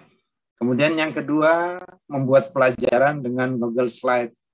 Jadi menarik jadinya dia begitu berkunjung ke webnya sudah ada slide-slide yang ingin dipelajari eh, oleh anak-anak secara bagus tayangannya, tampilannya juga bagus. Kemudian bila perlu ada masukan tambahan, kita melakukan editing. Ya, setelah kita membuat edit, kemudian kita bagikan dan kita masukkan di dalam Google Dokumen. Yang lainnya adalah kita mengajak siswa berdiskusi. Ini penting sekali. Ya, Artinya di situ bahwa anak-anak begitu dia setelah melihat slide yang bagus, dokumennya kemudian kita edit dan seterusnya, kita mengajak mereka diskusi secara langsung, secara virtual, sehingga kita mengetahui apa yang diinginkan oleh mereka, apa yang kita inginkan bisa tercapai satu tujuan yang sama. Kemudian yang berikutnya kadang memang perlu juga ada semacam komunikasi secara pribadi ya. Jadi mungkin kita melihat ada di antara peserta didik kita kok diam dan sebagainya, kurang aktif, mungkin kita chat secara pribadi yang bersangkutan apa kendalanya. Nah, setelah itu yang paling penting juga pada saat pembelajaran kita buat kuis ya. Kuis-kuis yang menarik yang sehingga menantang bagi anak-anak kita untuk uh, menjawabnya. Jadi membuat kuis online dengan Google Formulir misalnya, ya dia menjawab secara virtual juga. Dan yang terakhir yang tips yang kedelapan adalah berikan masukan secara langsung di Google Dokumen sehingga apa yang eh, proses pembelajaran yang dilakukan secara virtual ini semakin menarik minat bagi anak-anak kita. Saya rasa dengan delapan ini, insya Allah apa yang diinginkan tidak membosankan bagi anak-anak kita. Demikian, terima kasih. Baik, terima kasih banyak untuk tips yang diberikan langsung ini ya oleh Bapak Suwarno selaku Kadis Pendidikan dan Kebudayaan ya Kabupaten Pendidikan ya Kabupaten Kapuas ya luar biasa sekali. Semoga ini uh, teman-teman tenaga pendidik ya mau tidak mau suka tidak suka wah harus kreatif agar uh, anak didiknya semuanya bisa senang ya dalam uh, menangkap pelajaran yang diberikan ya. Baik, terima kasih banyak Bapak. Dan selanjutnya pertanyaan untuk Kabela dari Vienna, Vienna ya, Yoka Patra ya. Pertanyaannya adalah karena banyak sekali ini kebudayaan yang dimiliki oleh bangsa Indonesia ini diklaim ya oleh negara lain seperti mungkin batik atau tari-tarian dan lain-lain ya. Nah, uh, mungkin ada tips atau enggak menurut dari Kak Bella sendiri ya. Oke. Cara yang dilakukan yang dapat dilakukan sebagai warga negara Indonesia untuk menjaga identitas nasional supaya tidak terjadi pengklaiman kebudayaan Indonesia oleh negara lain.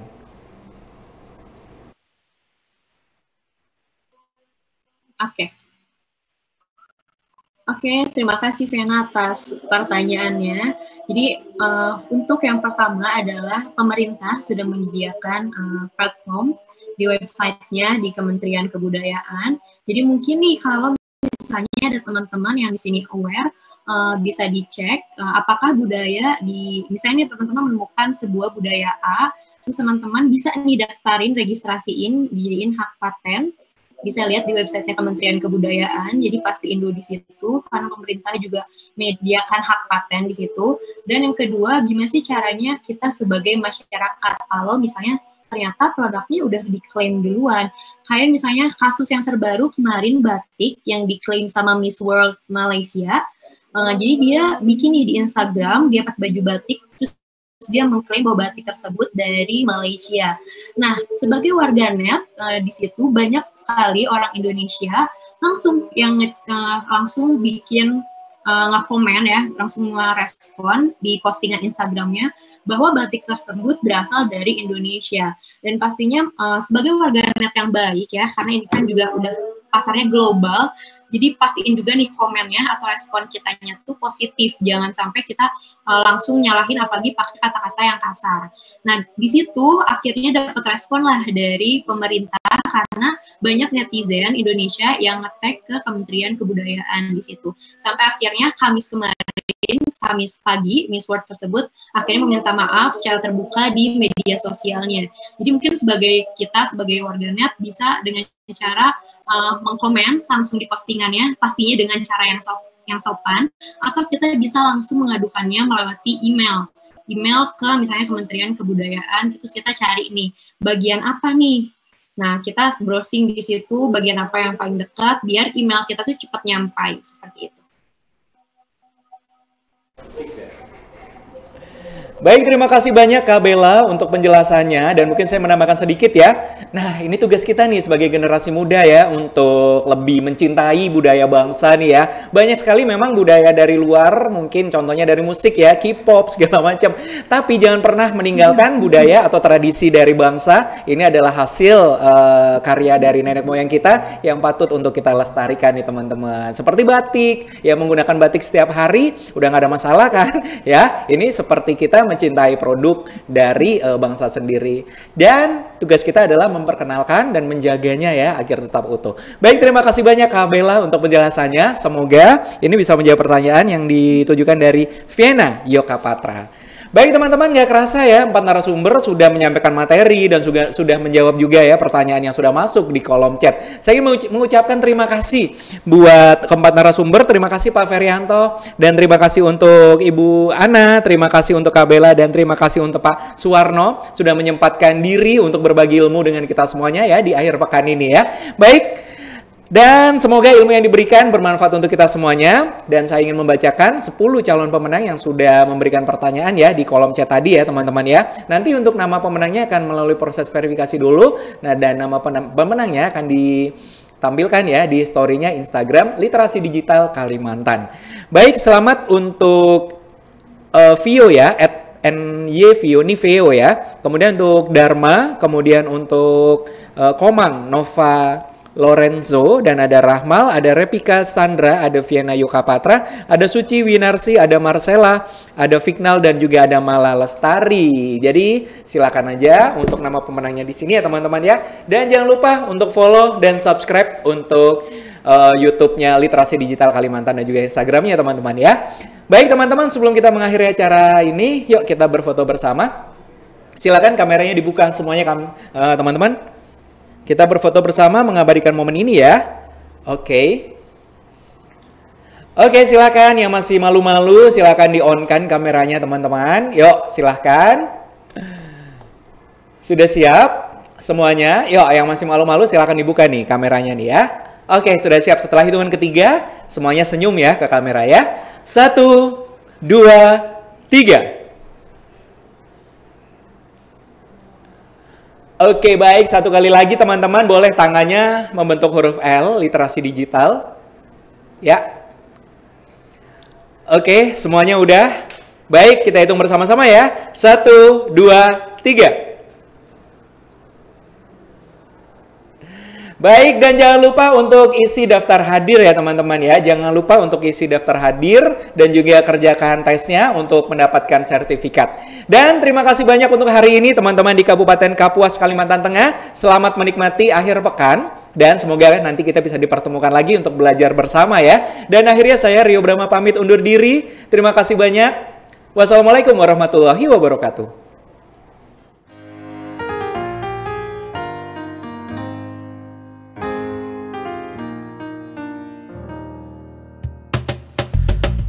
Tolong-tolong aku melolong Baca sosmed bikin aku bengong. Banyak berita isinya bohong Bikin orang jadi saling menggonggong. Seperti ada niat sebar kebencian Tanpa peduli akan ada kerugian. Seperti dapat munculnya permusuhan Karena tertipu jadi curigaan. Gue pernah baca hoax di sosmed yang jadi merugikan tukang trompet. Katanya trompet bisa bikin kanker. Trompet sih cuma bisa bikin bibir doer. Sylvester Stallone dibilang mati. Brad Pitt juga dibilang mati. Oh, iya? Mr. Bean, Jackie Chan juga dibilang mati. Seneng banget doain orang mati. Uh. Harusnya ada etikanya Bermain sosial media. Tak bisa asal mengirim tanpa dipikirin bisa fatal akibatnya. Bersihkanlah udara kita dari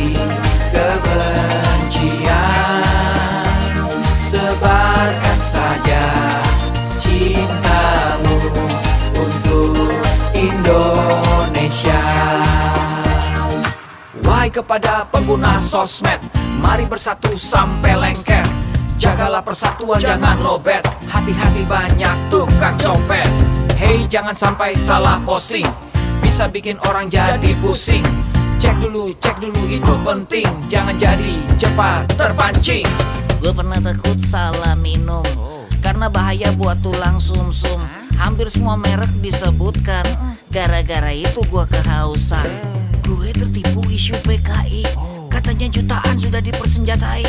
Akibatnya gua keluar biaya bikin persembunyian bawah tanah.